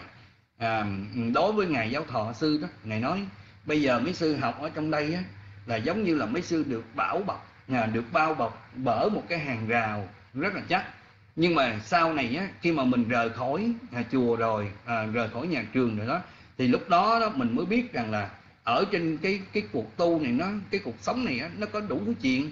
Có khi mình đi ra ngoài mình được người ta khen nhưng mà có khi mình đi ra ngoài á, mình bị người ta chỉ trích à, bị người ta chê rồi vân vân. Còn bây giờ á, là do mình còn trong đây mình học à, thành ra có tất cả các vị người ta à, lo người ta bảo hộ mình rồi à, để mà mình yên tâm ở đây mà mình tu tập thì thật sự ra thì ở trong cái trong cái khoảng thời gian mình học à, mình tu tập á, thì nó đâu có xảy ra cái gì quý vị. À, đâu có ai mà người ta rảnh mà người ta đi đến người ta chỉ trích là những người mà đang trong lớp học. Đó thì chỉ có sau này mình đi ra ngoài à, thì mình mới à, bị à, chỉ trích hoặc là có lúc à, mình cũng à, được khen. Đó thành ra quý vị thấy rằng ở đây á, cái câu chuyện của à, cái người à, gia chủ và cái nữ tỳ à, Kali đó, à, để cho chúng ta thấy cái gì quý vị? Chúng ta thấy rằng là chưa chắc mình nhìn bề ngoài như vậy nhưng mà mình ở bên trong người đó là có phải thật sự là như vậy hay không? Hoặc là cái đời sống tu tập của mình à, bây giờ là do mình được cái hoàn cảnh à, nó nó nó nó nó thuận tiện.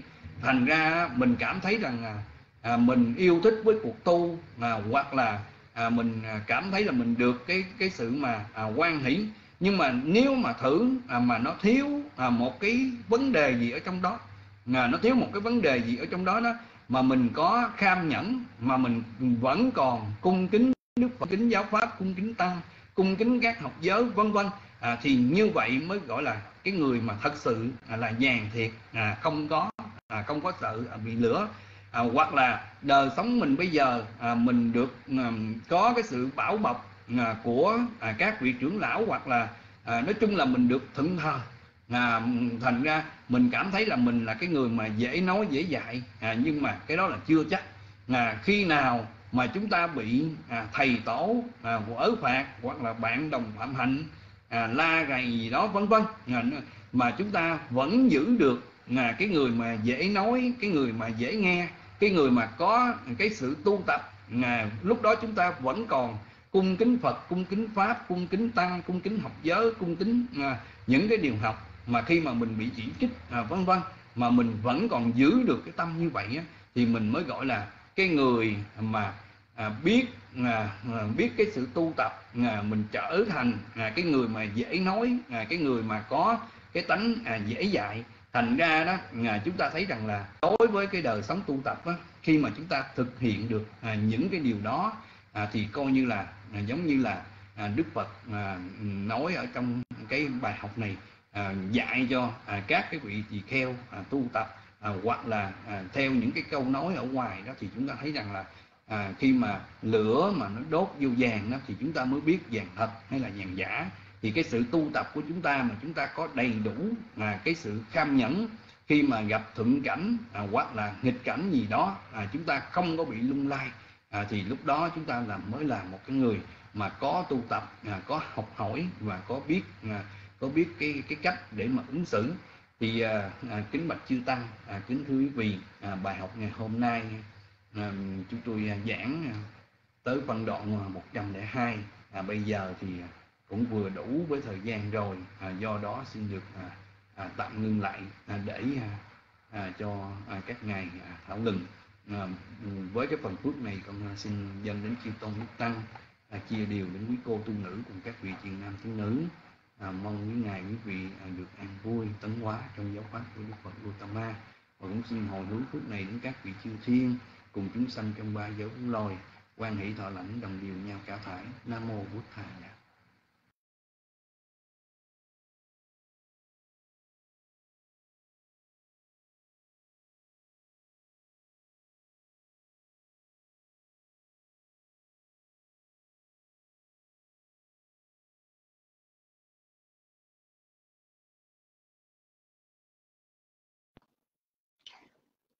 Sa thú cái trình ờ, đại trưởng pháp tính với học thoại vừa rồi.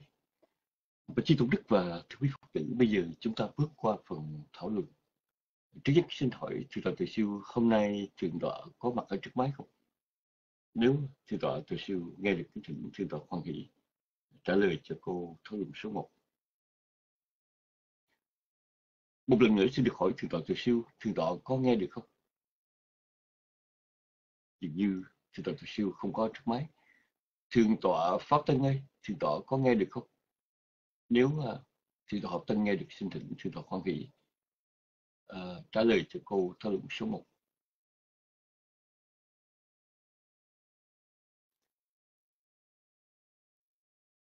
dường như uh, thượng tọa pháp, pháp tân cũng không có bằng thượng tọa tư quyền ấy thượng tọa tư quyền có nghe được không nếu tự quyền nghe được từ tọa không hỷ cho biết. Dạ. Ờ, ở thượng tôi tự quyền ờ, chúng ta đọc qua bài kinh ngày hôm nay thì chúng ta thấy rõ ràng rằng những lời đức phật dạy đi sát với đời sống hàng ngày của chúng ta ở trong cách ăn nói cư xử vân vân. Nhưng mà uh, thỉnh thoảng chúng ta lại nghe những cái lời dạy khác như về thập diện nhân duyên hay là ở quận sư giới đế hay là trong thắng pháp vi thâm chẳng hạn thì chúng ta có vẻ như là nó nó không có gần gũi với thực tế. À, thực tại ở đây thì thượng tọa có thể giải thích là tại sao cũng lời dạy đức phật mà lại có hai cái phần uh, dường như là hoàn toàn khác nhau như vậy. Xin ờ, kính thỉnh thượng tọa tư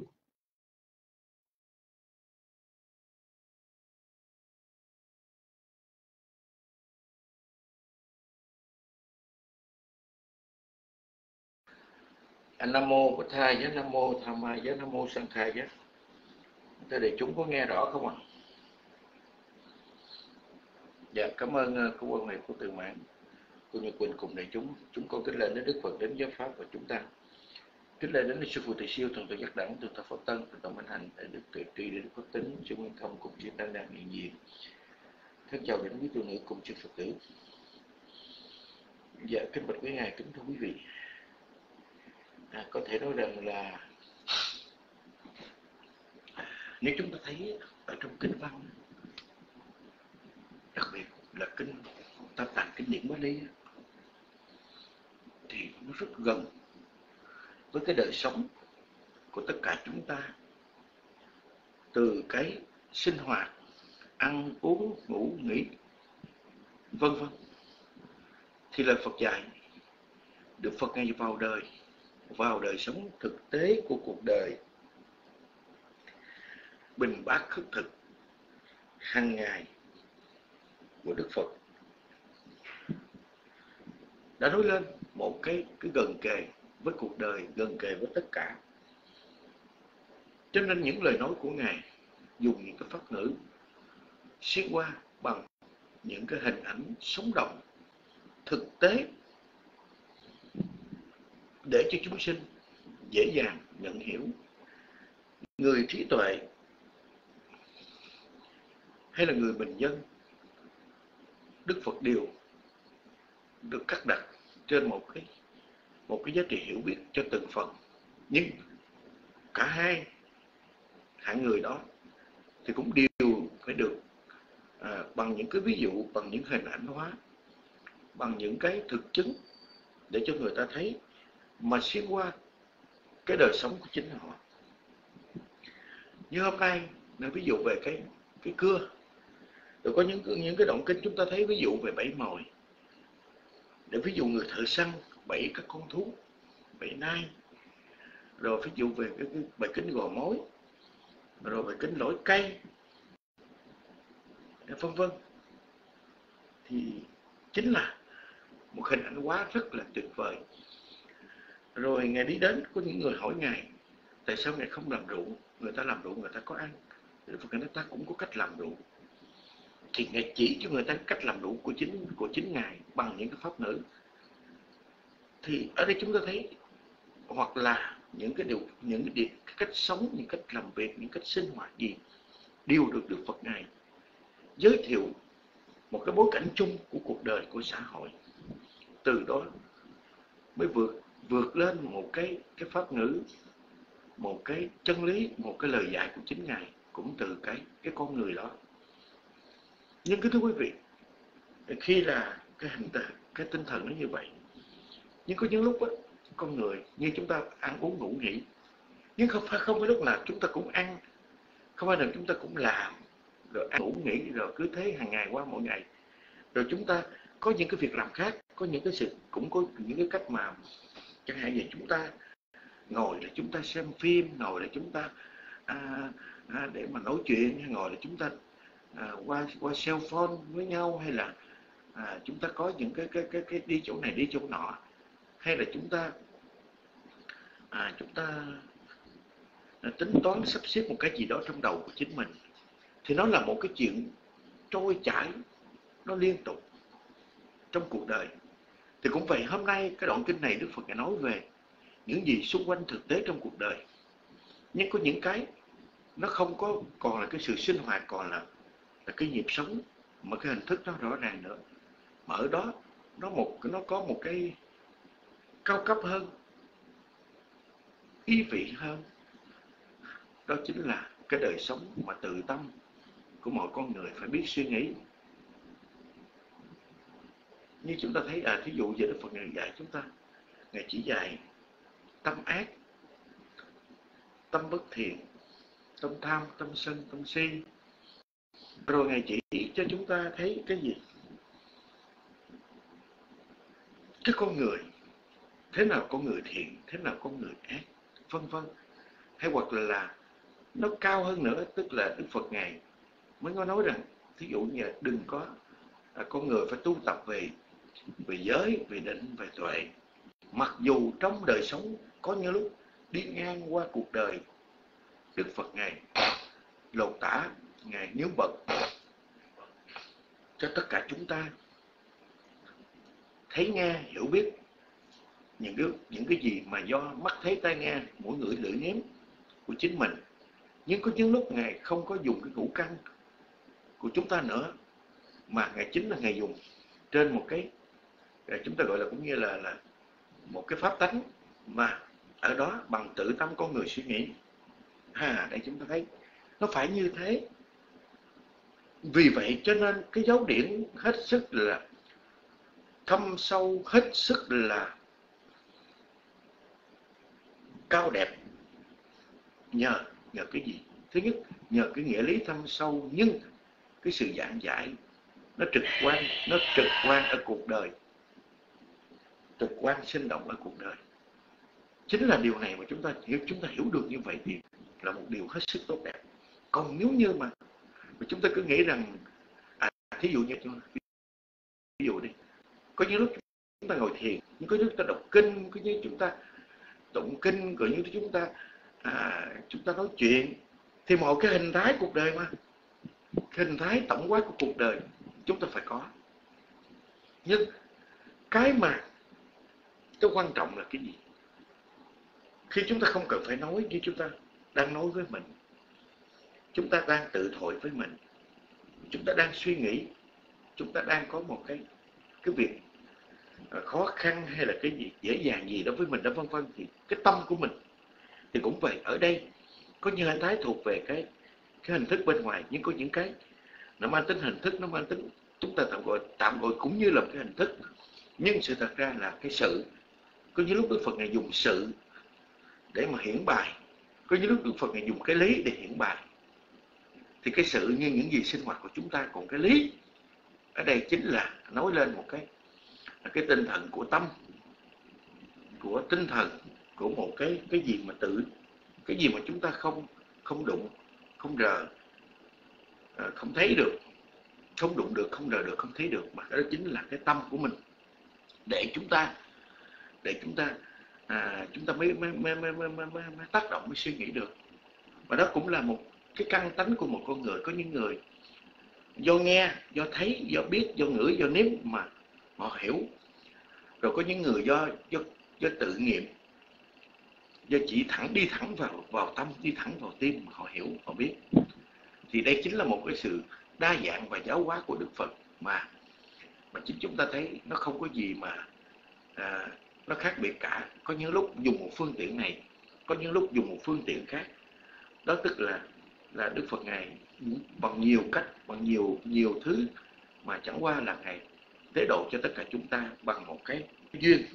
Cái duyên của chính mình nói như vậy. Và cái bạch thường tọa đây là cái câu trả lời của chính con là như vậy. Nếu như có điều gì cần một túc thì kính cung thỉnh thưa tọa cùng với ngài nam mô bổn thầy danh sa thú kính trân ờ, sư tọa thưa quyền. À, bạch sư tọa từ siêu thường tọa có ở trước máy và sư tọa có nghe được không? Nếu từ đoàn thầy siêu nghe được kính trình từ đó trả lời cho câu thơ số 2 một lần nữa xin được hỏi từ đoàn thầy siêu từ đó có nghe được không? Thường tọa pháp tân ơi từ tọa có nghe được không? Vậy nếu từ tọa pháp tân nghe được kính trình từ tọa trả lời cho câu thảo luận số 2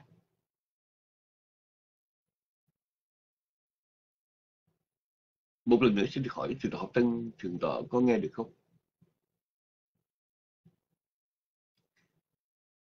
Sư nguyên thông sư nguyên thông quan hỷ trả lời cho câu thảo luận số 2 ô dạ dạ dạ bậc sư đó tân nghe được hả? Ô dạ vâng. À, xin lỗi sư nguyên thông. Sư đó tân ờ, ở trong bài kinh này thì đức phật đã đặc biệt nói đến cái ngôn ngữ thích hợp cho người xuất gia và ngài nên khuyên mình cẩn trọng với ngôn ngữ. Nhưng mà với nhiều người trong tam nghiệp ấy, thì họ nói rằng cái ý nghiệp là quan trọng nhất rồi tới thân nghiệp à, thân nghiệp như sát sanh trộm lúc tà dâm thì uh, nếu đối với nhiều người họ cho rằng trong tam nghiệp mà ờ, ý nghiệp là quan trọng nhất tam nghiệp là gì còn khẩu nghiệp thì không đến đổi lắm. Tại vì lời nói thì như gió thoảng mây bay sẽ nói rồi rồi thôi. Yeah. Nhưng mà uh, trên thực tế thì có như vậy không? Uh, khẩu nghiệp có thật sự nhẹ không?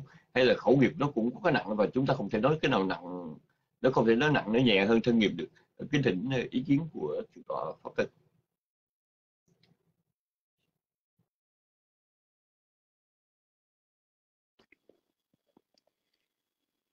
Dạ, Nam mô Buddhaya, dạ, Nam mô Tham Mại, dạ, Nam mô Sankhaya. À, dạ. ờ, con xin thành kính đảnh lễ ân đức Tam Bảo, Đức Phật, Giáo Pháp và Chư Tăng. Kính đảnh lễ Thượng tọa Tuệ Siêu, Thượng tọa Giác Đẳng, Thượng tọa Tuệ Quyền, tâm Minh Hạnh, đầy Đức Pháp Tính, Đại Đức Tuệ Tri, sự Nguyễn Thông cùng Chư Tăng. À, kính chào quý cô tu nữ và thân chào quý thiện nam tín nữ. Theo con thì à, khi mà đề cập đến à, tam nghiệp thì à, cái nghiệp nào nó cũng rất là quan trọng nhưng mà để mà khởi lên cái cái khẩu nghiệp nói năng hay hoặc là cái thân nghiệp hành động. Ừ, thì ờ, cái điều đó nó nó nó đều là do nơi cái cái tâm của mình ờ, dắt dẫn trước. Tại vì ờ, cái tâm của mình nó khởi lên á à, cho nên dù là nó nhanh lắm ừ, dù là à, như thế nào đi nữa thì tâm rất là nhanh. Có khi mình nói rằng mình nói cái lời nói đó ra nhưng mà mình không có cái cái sự cố ý. Nhưng mà sự thật ra thì nó có rồi chứ không phải là không có. Khi cái thoáng nghĩ của nội tâm của mình nó thoáng nghĩ qua uh, lộ trình tâm của mình cái uh, tâm của mình nó sanh diệt liên tục như vậy. Cho nên khiến mình có cái cái lời nói. Ờ, cái lời nói.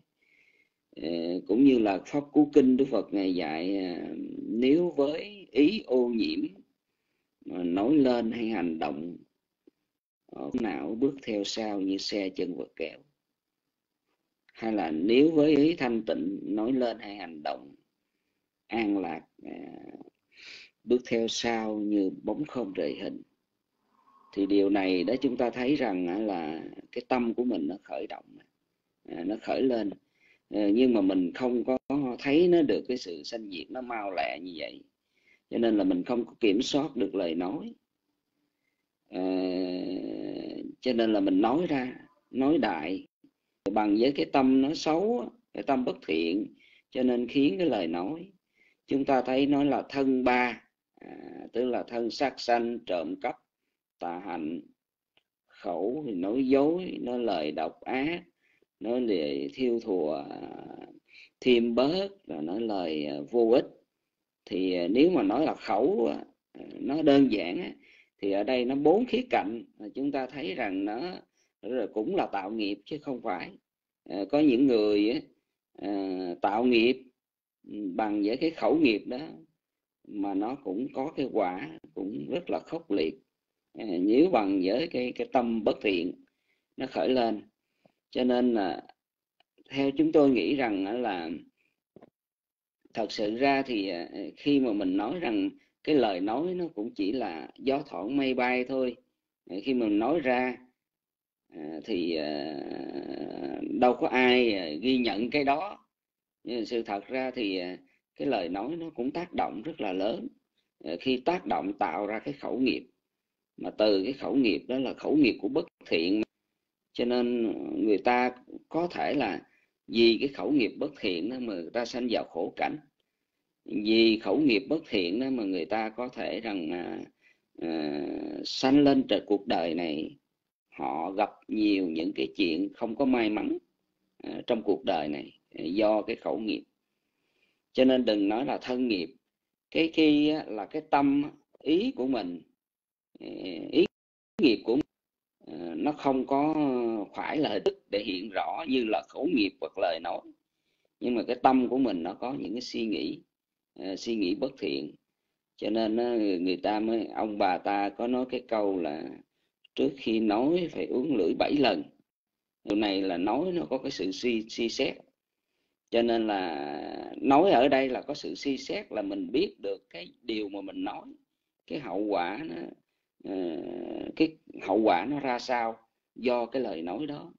Cho nên khi mà mình nói ra mà bằng với cái tâm bất thiện ấy, thì mình cũng tạo ra cái khẩu nghiệp bất thiện vậy thì nó cũng phải có cái quả của bất thiện. À, rồi cái thân nghiệp của chúng ta cũng vậy. Cái thân nghiệp này đó thì ờ, chúng ta thấy nó khởi lên. À, mình nóng giận mình quăng bỏ cái này dục bỏ cái kia hoặc mình đánh đập mình sát hại làm tổn thương hay là à, đánh đà hạ hạ vân vân. Những cái chúng sinh khác thì cái đó mình tạo ra thân nghiệp mà thân nghiệp đó là thân nghiệp bất thiện. Thì khi mà thân nghiệp nó khởi lên á, thì dĩ nhiên là cái tâm của mình tức là cái ý nghiệp của mình nó, nó dắt dẫn mình trước làm thân nghiệp của mình khiến cho cái thân nghiệp mình hành động bất thiện. Cho nên cái hành động đó nó cũng phải có cái quả à, có cái quả nói như vậy để mình thấy rằng là à, cái cái cái cái lời nói hoặc là cái khẩu nghiệp hay là cái thân nghiệp hoặc là ý nghiệp thì phải nói rằng là cái thân nghiệp và khẩu nghiệp thì chúng ta thấy nó phát tác ra ờ, chúng ta thấy nó có có, có cái sự biểu hiện ờ, chúng ta dễ dàng nhận biết được. Tức là hả mà một người với cái tâm sân hay là với cái tâm tham gì đó à, mà họ khởi lên à, cho nên khiến cho họ nói năng hoặc là khiến cho cái hành động nó sai trái hành động tạo ra cái nghiệp bất thiện từ thân khẩu. Thì mình nói rằng nó nó quan trọng nhưng cái tâm của mình á, nó cũng không phải là không kém phần quan trọng. Nếu cái tâm của mình nó không có uh, nghĩ một cách lệch lạc hay là cái tâm không có cái cái ý nghiệp của mình nó không có bất thiện thì mình không có không có nói năng hay hoặc là mình hành động bất thiện gì vậy đâu. Thì ở đây con nghĩ rằng à, khi mình à, ở trong kinh đề cập đến ba cái loại nghiệp ừ, thân nghiệp khẩu nghiệp và ý nghiệp thì con nghĩ rằng cái nào nó cũng có cái cái quả tương xứng với nó hết. Nha yeah. hả mà giới với nếu với ý nghiệp mà bất thiện à, ô nhiễm đó, thì tạo ra cái cái thân nghiệp bất thiện khẩu nghiệp bất thiện. À, nếu với cái ý nghiệp mà thanh tịnh á, à, thì tạo ra cái thân nghiệp thanh tịnh rồi ý à, nghiệp cũng thân nghiệp khẩu nghiệp đẹp. Và như vậy đó thì à, cái người đó họ ờ, tạo được cái quả lành à, tạo được quả lành. Cho nên nếu mà nói rằng cái điều chỉnh về cái cái cái cái cái cái cái, cái hành vi của mình á, thì trước nhất là phải điều chỉ chỉnh cái tâm. Dạ, điều chỉnh cái tâm thì khi mà cái tâm điều chỉnh nó có tốt rồi à, nó có thanh tịnh nó có tốt đẹp rồi đó thì cái lời nói nó cũng có thể tốt đẹp và cái hành động nó cũng có thể tốt đẹp. Cho nên con nghĩ rằng nếu đã đề cập đến ba loại nghiệp thì không có nói rằng à, cái nghiệp nào nó mạnh nặng cái nghiệp nào nó cũng có quả tương xứng. Nếu cái ý nghiệp nó ờ, nó nó, nó ô nhiễm nhẹ đó thì chúng ta cũng phải có cái quả nó nhỏ ít. Nhưng mà cái cái cái cái thân nghiệp với cái khẩu nghiệp ờ, cũng vì do cái tâm của nghiệp, ý nghiệp của mình khởi lên, hay là thân nghiệp của mình khởi lên để có hành động hay nói năng gì đấy, thì mình tạo cái quả nó cũng có cái sự tương xứng như vậy. Thì ờ, theo con con nghĩ rằng ờ, để mà điều chỉnh thì điều chỉnh cái tâm trước điều chỉnh cái tâm trước. Thì khi mà cái tâm nó được tốt thì sẽ khiến là cái cái hành động, lời nói của mình nó cũng sẽ được tốt đẹp. Dĩ nhiên là trong cái cái đời sống hàng ngày giống như là mình à, nói năng có chánh niệm hay là mình nói năng có kiểm thúc không có bị phóng dật ấy, thì à, cái lời nói của mình nó cũng cẩn trọng trong cái lời nói hay là cái hành động của mình nó cũng uh, cũng điềm đạm uh, ở trong cái cách uh, ứng xử của mình.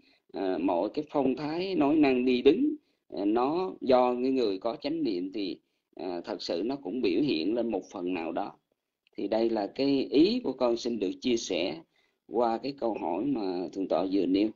Con kính thỉnh thượng tọa trở lại. Nam mô bích thầy dạ.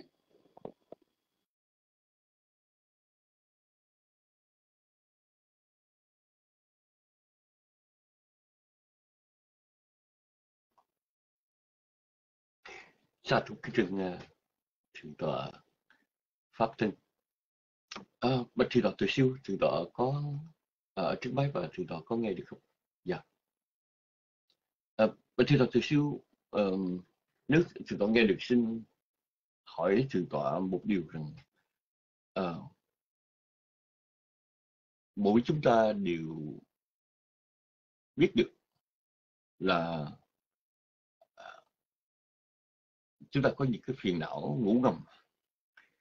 Và nếu nó có điều kiện thì nó sẽ sanh khởi uh, và đôi khi sân khởi mãnh liệt ví dụ sự phẫn nộ của chúng ta chẳng hạn. Thì đối với một người tu tập á, ờ, chúng ta có có thể làm gì được để chúng ta ngừa trước hay không? Hay là như trường hợp nói về chuyện ờ, ờ, cái chuyện mà chúng ta nghe ngày hôm nay trong câu chuyện cái cưa đó thì uh, chúng chúng chúng ta thấy rằng nữ nữ trì Kali có một cái suy nghĩ uh, cũng tương đối đặc biệt để thử người chủ của mình là chủ nhân Vedehika đó thì theo thì tôi nghĩ rằng uh, chúng ta có thể làm được gì để phòng ngừa những cái sự tăng động của phiền não mà mình không ngờ được không? Kính thỉnh thưa toàn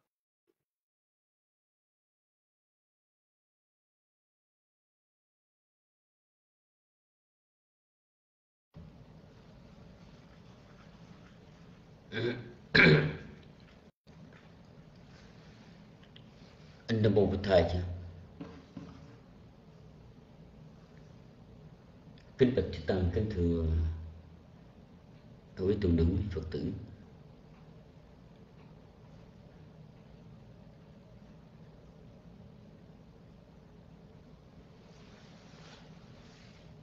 Mỗi chúng sinh có cái uh,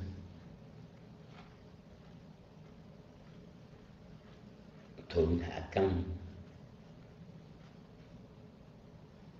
khác biệt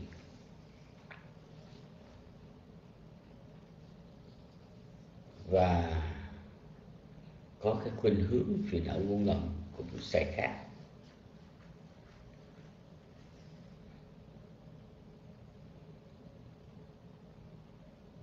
Có người nặng về tâm ái, người nặng về tâm sân, có người nặng về tâm si, có người nặng về tâm suy tầm. Nghĩ ngợi, có người nặng về lòng nhẹ dạ cả tin có người nặng về trí tuệ, tức là thông minh. Và cái tâm tánh có khác nhau như vậy đó. Cho nên nó có cái à, khuynh hướng ngủ ngầm. Cái đó là do khuynh hướng ngủ ngầm. Dục ái tùy miên cái phiền não ngủ ngầm của người đó nặng về ái dục. Hữu ái tùy miên là nặng về cái sự ham muốn tái sanh ham muốn đời sau. Có người nặng về phẫn quốc tiền miên tức là cái khuynh hướng ngủ ngầm, là cái tâm sân thành nết. Có người nặng về mạng tiền miên tức là cái tâm cống cao ngạo mạn. Có người nặng về thiếu tiền nghi tức là có cái sự chấp sai chấp phi lý chấp tà kiến. Có người nặng về vô minh à, có khuynh hướng về à, có pháp cũng ngầm về vô minh. Thì do cái à, à, cá tánh charita sai biệt. Và có cái, cái phiền não muốn cầm sai biệt. Cho nên nó mới bộc phát lên.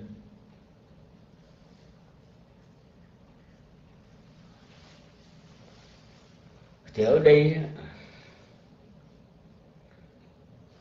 nếu như người nào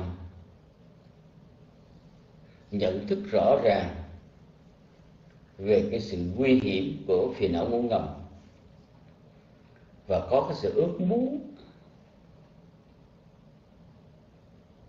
để diệt bỏ cái phiền não ngủ ngầm đó, thì tốt. Thì người đó có thể sửa được. Sở dĩ mà chúng tôi nói như vậy đó.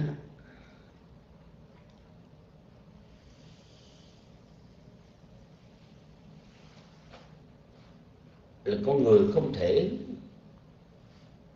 không phải không phải là không thể sửa sai. Chúng ta có thể sửa được, có thể ngăn ngừa được. Nhưng phải với hai điều kiện một là người đó phải có trí tuệ, hiểu biết rõ cái sự nguy hiểm, cái mức độ nguy hiểm của phiền não ngủ ngầm. Tham ái hay là sân hận hay là ngã mạn tà kiến vân vân và cái yếu tố thứ hai đó, cái điều kiện thứ hai mà giúp cho người này sửa được là phải có một cái sự ước muốn gọi là chan đá. Bởi vì khi mà có cái sự ước muốn đó thì mới có thể sửa được còn nếu như không không có sự ước muốn để bỏ đi cái xấu và để làm cái tốt thì như vậy tánh nào tật đó là không thể không thể nhờ người khác sửa được.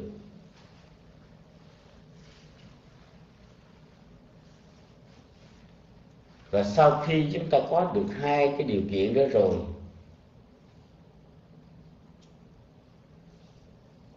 thì bây giờ mới bắt đầu.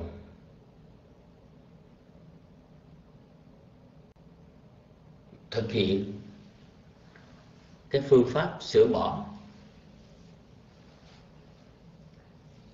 Thì ở đây thưa quý vị, nếu một người có cái dục ái tiền niên, cái tâm ái của người này cứ quanh quẩn, sắc đẹp tiếng hay mùi thơm vị ngon xúc lạc. Cứ tham đắm như thế. Người đó cần phải tu tập. Nếu như cái sự tham ái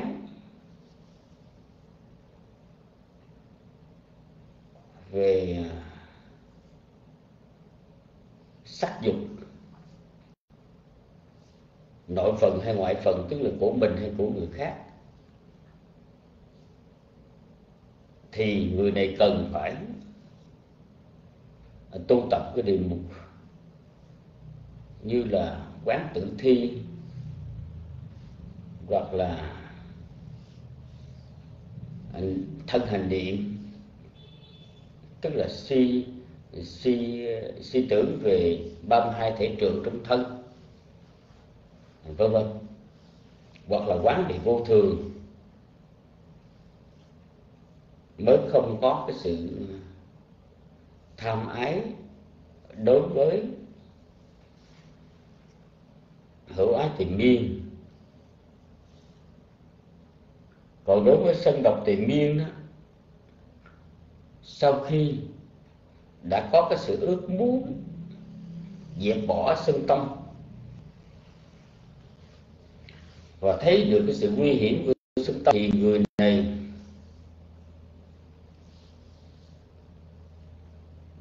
trước chức là phải tu tập chánh niệm. Hệ mỗi khi sân tâm sinh khởi,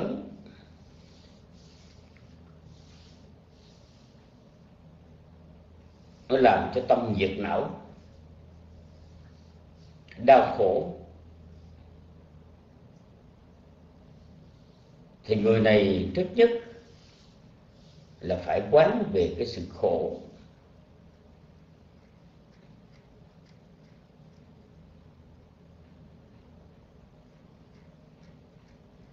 Gọi là đúc pháp vipassana, quán về sự khổ của danh sắc.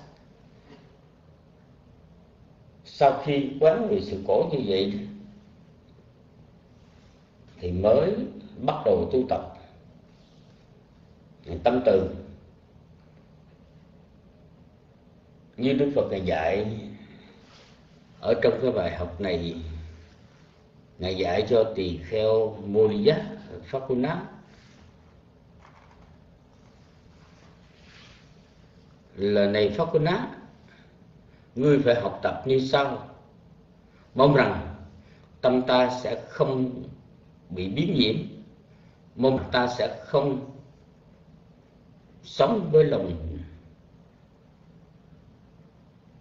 sân hận mong rằng ta sẽ sống với lòng từ mẫn.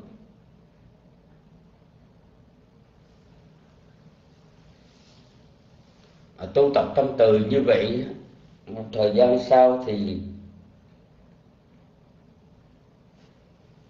cái phẫn nộ thì biên đó nó sẽ giảm sẽ giảm dần.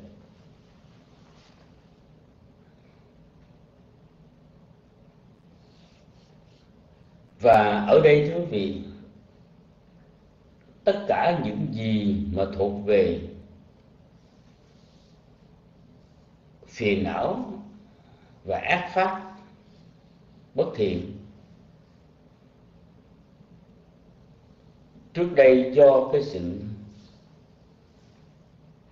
xem thường, dễ vui và sống theo, chiều theo cái phiền não đó. Cho nên nó trở thành cái tính ngủ ngầm, thành cái phiền não ngủ ngầm. Anusaya anusaya và như vậy thì cũng chính do cái sự quyết tâm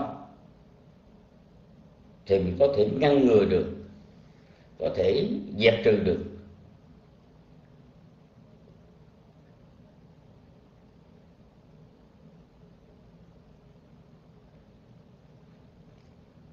Trong lời của Đức Phật Ngài đã dạy,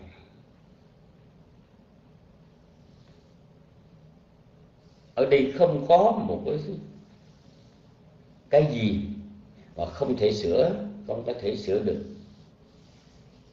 Tất cả đều sửa được. Bởi vì cái phiền não nó sanh khởi từ đây, thì phải được từ bỏ ở đây. Chỉ có trường hợp nghiệp đã làm ở trong quá khứ, nghiệp ác hay đã làm trong quá khứ bây giờ muốn chỉnh sửa cái nghiệp ác đó thì chuyện đã rồi. Cho nên không sửa được. Nhưng vẫn có thể dùng các hạnh lành để xóa mờ ác nghiệp được. Còn như đối với cái thân tứ đại, bị già, bị bệnh, bị chết, thì cái này không thể sửa được. Bởi vì đó là một cái quy luật tự nhiên của ở thân tứ đại của thân sắc pháp còn đối với những phiền não, thì đó là danh pháp. Và nó khởi lên do cái sự quân tập. Thì bây giờ mình muốn chỉnh sửa là mình phải quân tu thiện pháp. Thì chúng ta có thể chỉnh sửa được, có thể phòng ngừa được. Chúng ta vừa qua đã học cái bài kinh đình chỉ tư duy. Cái phương pháp định chỉ tư duy đó, thưa quý vị, nó cũng giúp cho chúng ta phòng ngừa được những cái ác bất thiện pháp ngủ ngầm, không cho nó sinh khởi những cái tư duy những ác tư duy, những dục tư duy, sân tư duy và hại tư duy. Chúng ta học theo cái cách đó, trong cái cách thứ năm đó thì quý vị thấy rõ ràng là ở đây khi một cái tà tư duy sinh khởi, nếu áp dụng bốn phương pháp kia mà không có chặn đứt được thì vị tỳ kheo hải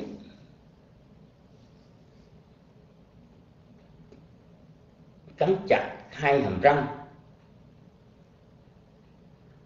Lưỡi ép sát vào nút giọng và chánh niệm. Xem coi phiền não nó sanh sanh khởi. Và sanh khởi như thế nào? Hãy có cái sự quyết tâm đó thì chắc chắn là sẽ đình chỉ tư duy được.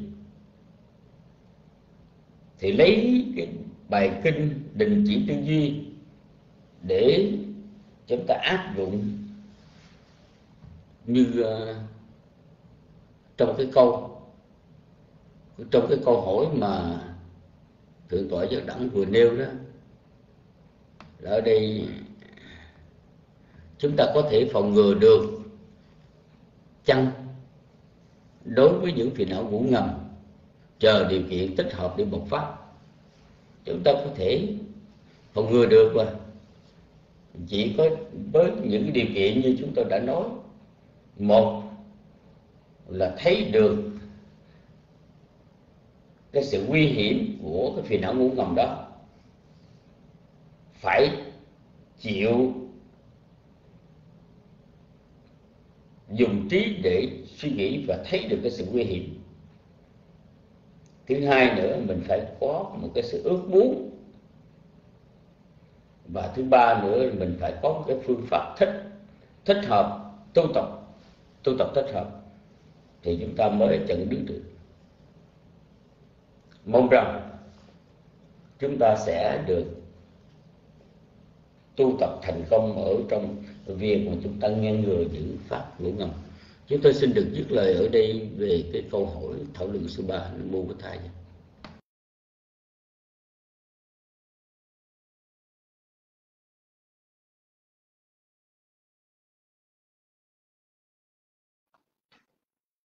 Sa thú bạch, bạch thưa thượng sư thượng tọa quan hỷ à, giải thích thêm một điểm là ở trong câu chuyện à, nữ nữ tỳ Kali mà thử chủ nhân của mình đó, thì ở đây ở đây Đức Phật đề cập đến phẫn nộ là một một cái ờ, thí dụ đơn cử thôi. Nhưng mà cả phiền não thì đều giống như vậy. Hay là chỉ có phẫn nộ là thứ mà nó bộc phát mà mình ờ, bất chợt mà rất khó dằn ờ, tức là chúng ta có, có phải đó trong, trong ba thứ phiền não tham sân si thì phải tâm tâm sân là tâm khó dằn nhất thì cái thí dụ này đặc biệt áp dụng với phẫn nộ có đúng như vậy không? Hay là cái thí dụ về nữ tỳ Kali đó có thể áp dụng cho cả tất cả phiền não? Xin thỉnh sư tổ quan hệ trở lại để nói thêm về điểm này.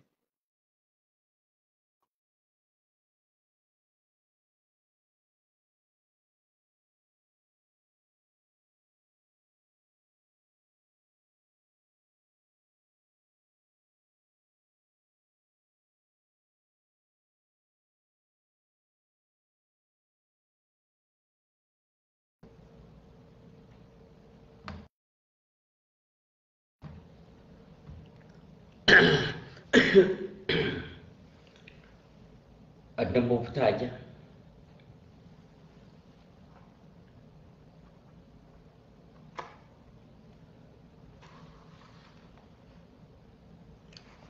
Kính bạch chư Tân, kính thưa quý vị.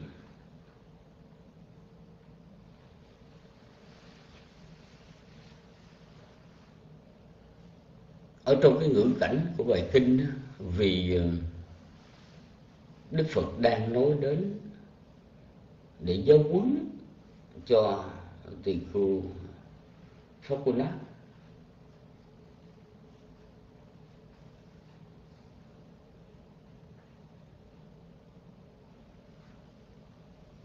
thì luôn luôn có cái tâm phẫn nộ, lời nói phẫn nộ. Khi mà những ai xúc đến cái đối tượng mà tỳ kheo ấy ưa thích là những vị tỳ kheo ni. Vì đang đề cập đến một người mà có cái lời nói phẫn nộ, có tâm phẫn nộ, và do phẫn nộ trở thành khó dạy nên đức phật ngài đặc biệt là người nói đến.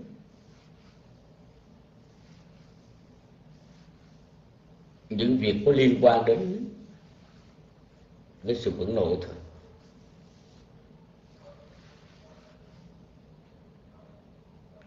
Chứ kỳ thật thì à, chúng ta tu tập là chúng ta phải kiềm chế cả về phiền não tham, phiền não sân, phiền não si. Nhưng mà ở đây, trong tăng gì một kinh đó, ngày xưa chúng ta có học tăng chi một kinh, có một bài kinh mà đức phật ngài dạy đối với tham, phiền não thì dễ dằn nhưng mà khó diệt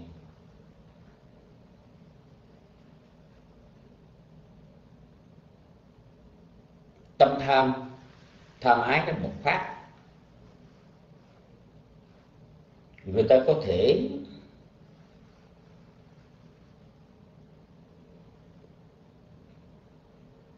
dần ném khi đứng trước người khác để biểu hiện như là mình là người không có tham, không có ái. Nhưng mà kỳ thật thì không phải diệt trừ, dễ dàng thưa quý vị. Bởi vì nếu mà diệt trừ cho tận gốc cái phiền não tham phải tới a la hán còn cái tâm sân đó thì à, khó dằn. Mặc dù dễ diệt nó khó dằn ở chỗ là do cái tánh nóng nảy, do cái tánh khí nóng nảy. Cho nên gặp chuyện bất bình lúc đó ừ, dễ bực bội, sanh bực bội và thốt lên những cái lời nói độc ác sân hận, hoặc là có thể hành động của hành động sân.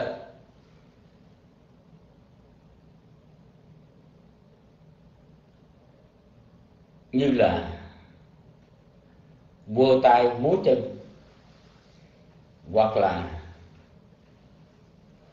đập phá đồ đạc, vân vân hoặc là đang nói chuyện tức giận, thì họ vỗ bàn. Rầm rầm. Nếu không thì họ đánh người khác để hả cái cơn giận.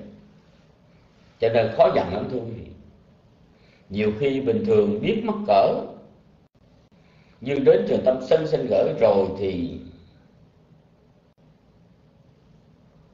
dù trước mặt người khác.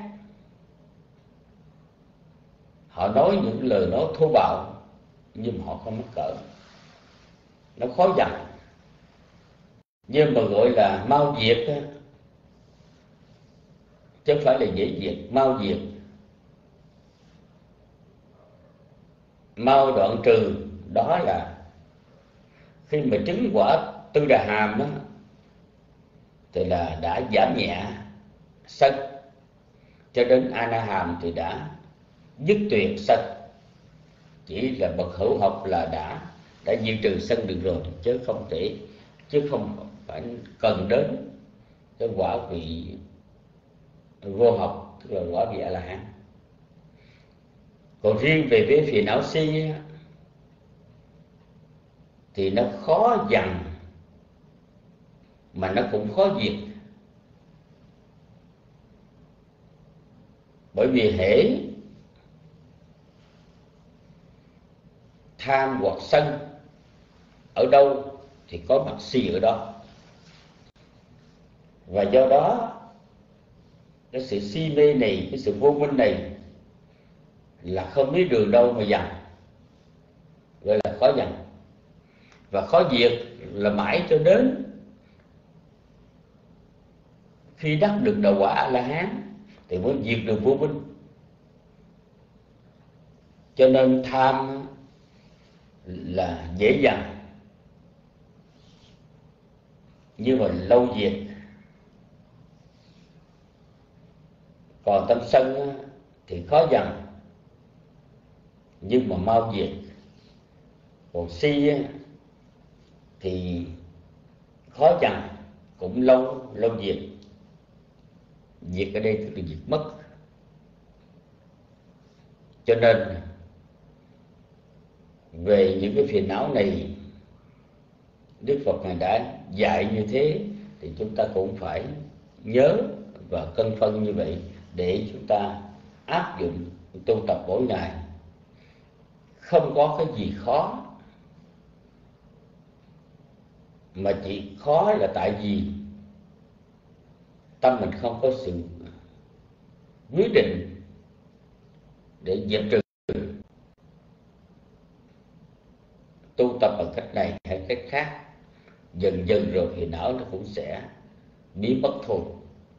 Chúng tôi xin được trả lời cái câu hỏi, câu thảo luận số 4 thượng tọa giáo đẳng vừa nêu việc năm mươi bổn thầy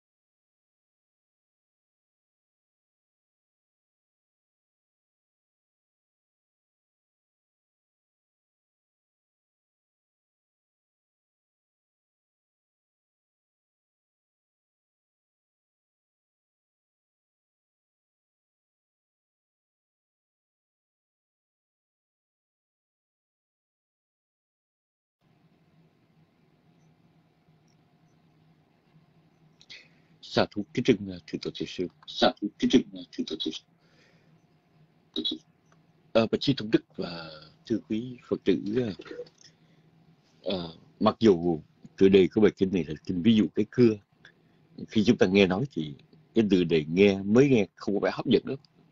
Nhưng mà kỳ thực à, nguyên bài kinh này à, rất là dễ đọc và có nhiều đoạn đã rất là thấm thía. Nếu chúng ta có thì giờ đọc trọn bài kinh thì chúng ta sẽ được nhiều lợi lạc lắm. À, hôm nay thì do bài kinh dài nên chúng ta chỉ có phần đầu ngày mai từ tổ hợp thân sẽ giảng phần còn lại. Xin được kết thúc chương trình sinh hoạt hôm nay của trung Phật pháp Buddha dharma kính trân chư vị giảng sư đã vào Trung để chia sẻ đến lễ quý ngài. Thân chào tạm biệt quý phật tử. Kính chúc tất cả một ngày an lành một đêm an lành. Hẹn gặp lại trong chương trình ngày mai. Nam mô bích thầy giảng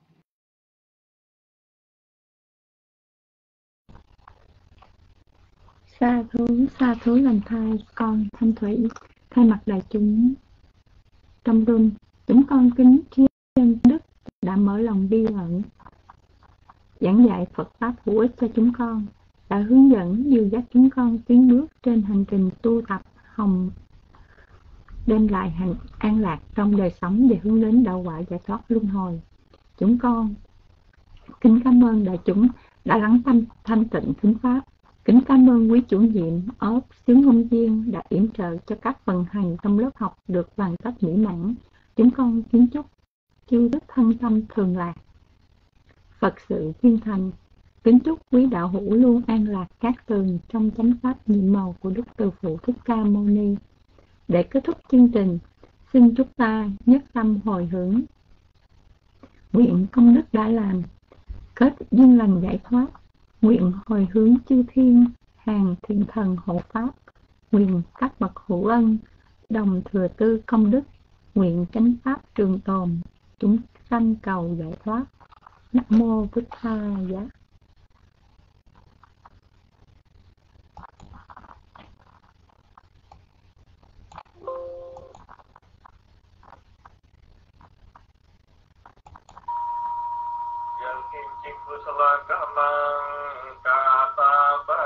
ริยามมะกายเยลวายจามนัสสาดิรเสสุขตังกตังอิเตตาตาสังยิโนอาติเยยตาตาสังยิโนกตังบุญญพลังไมอันตาปากีปวันตุเตเยตังกตังสุริตังเยตังบุญญพลังมายาเยจตาธนจานันติเดวา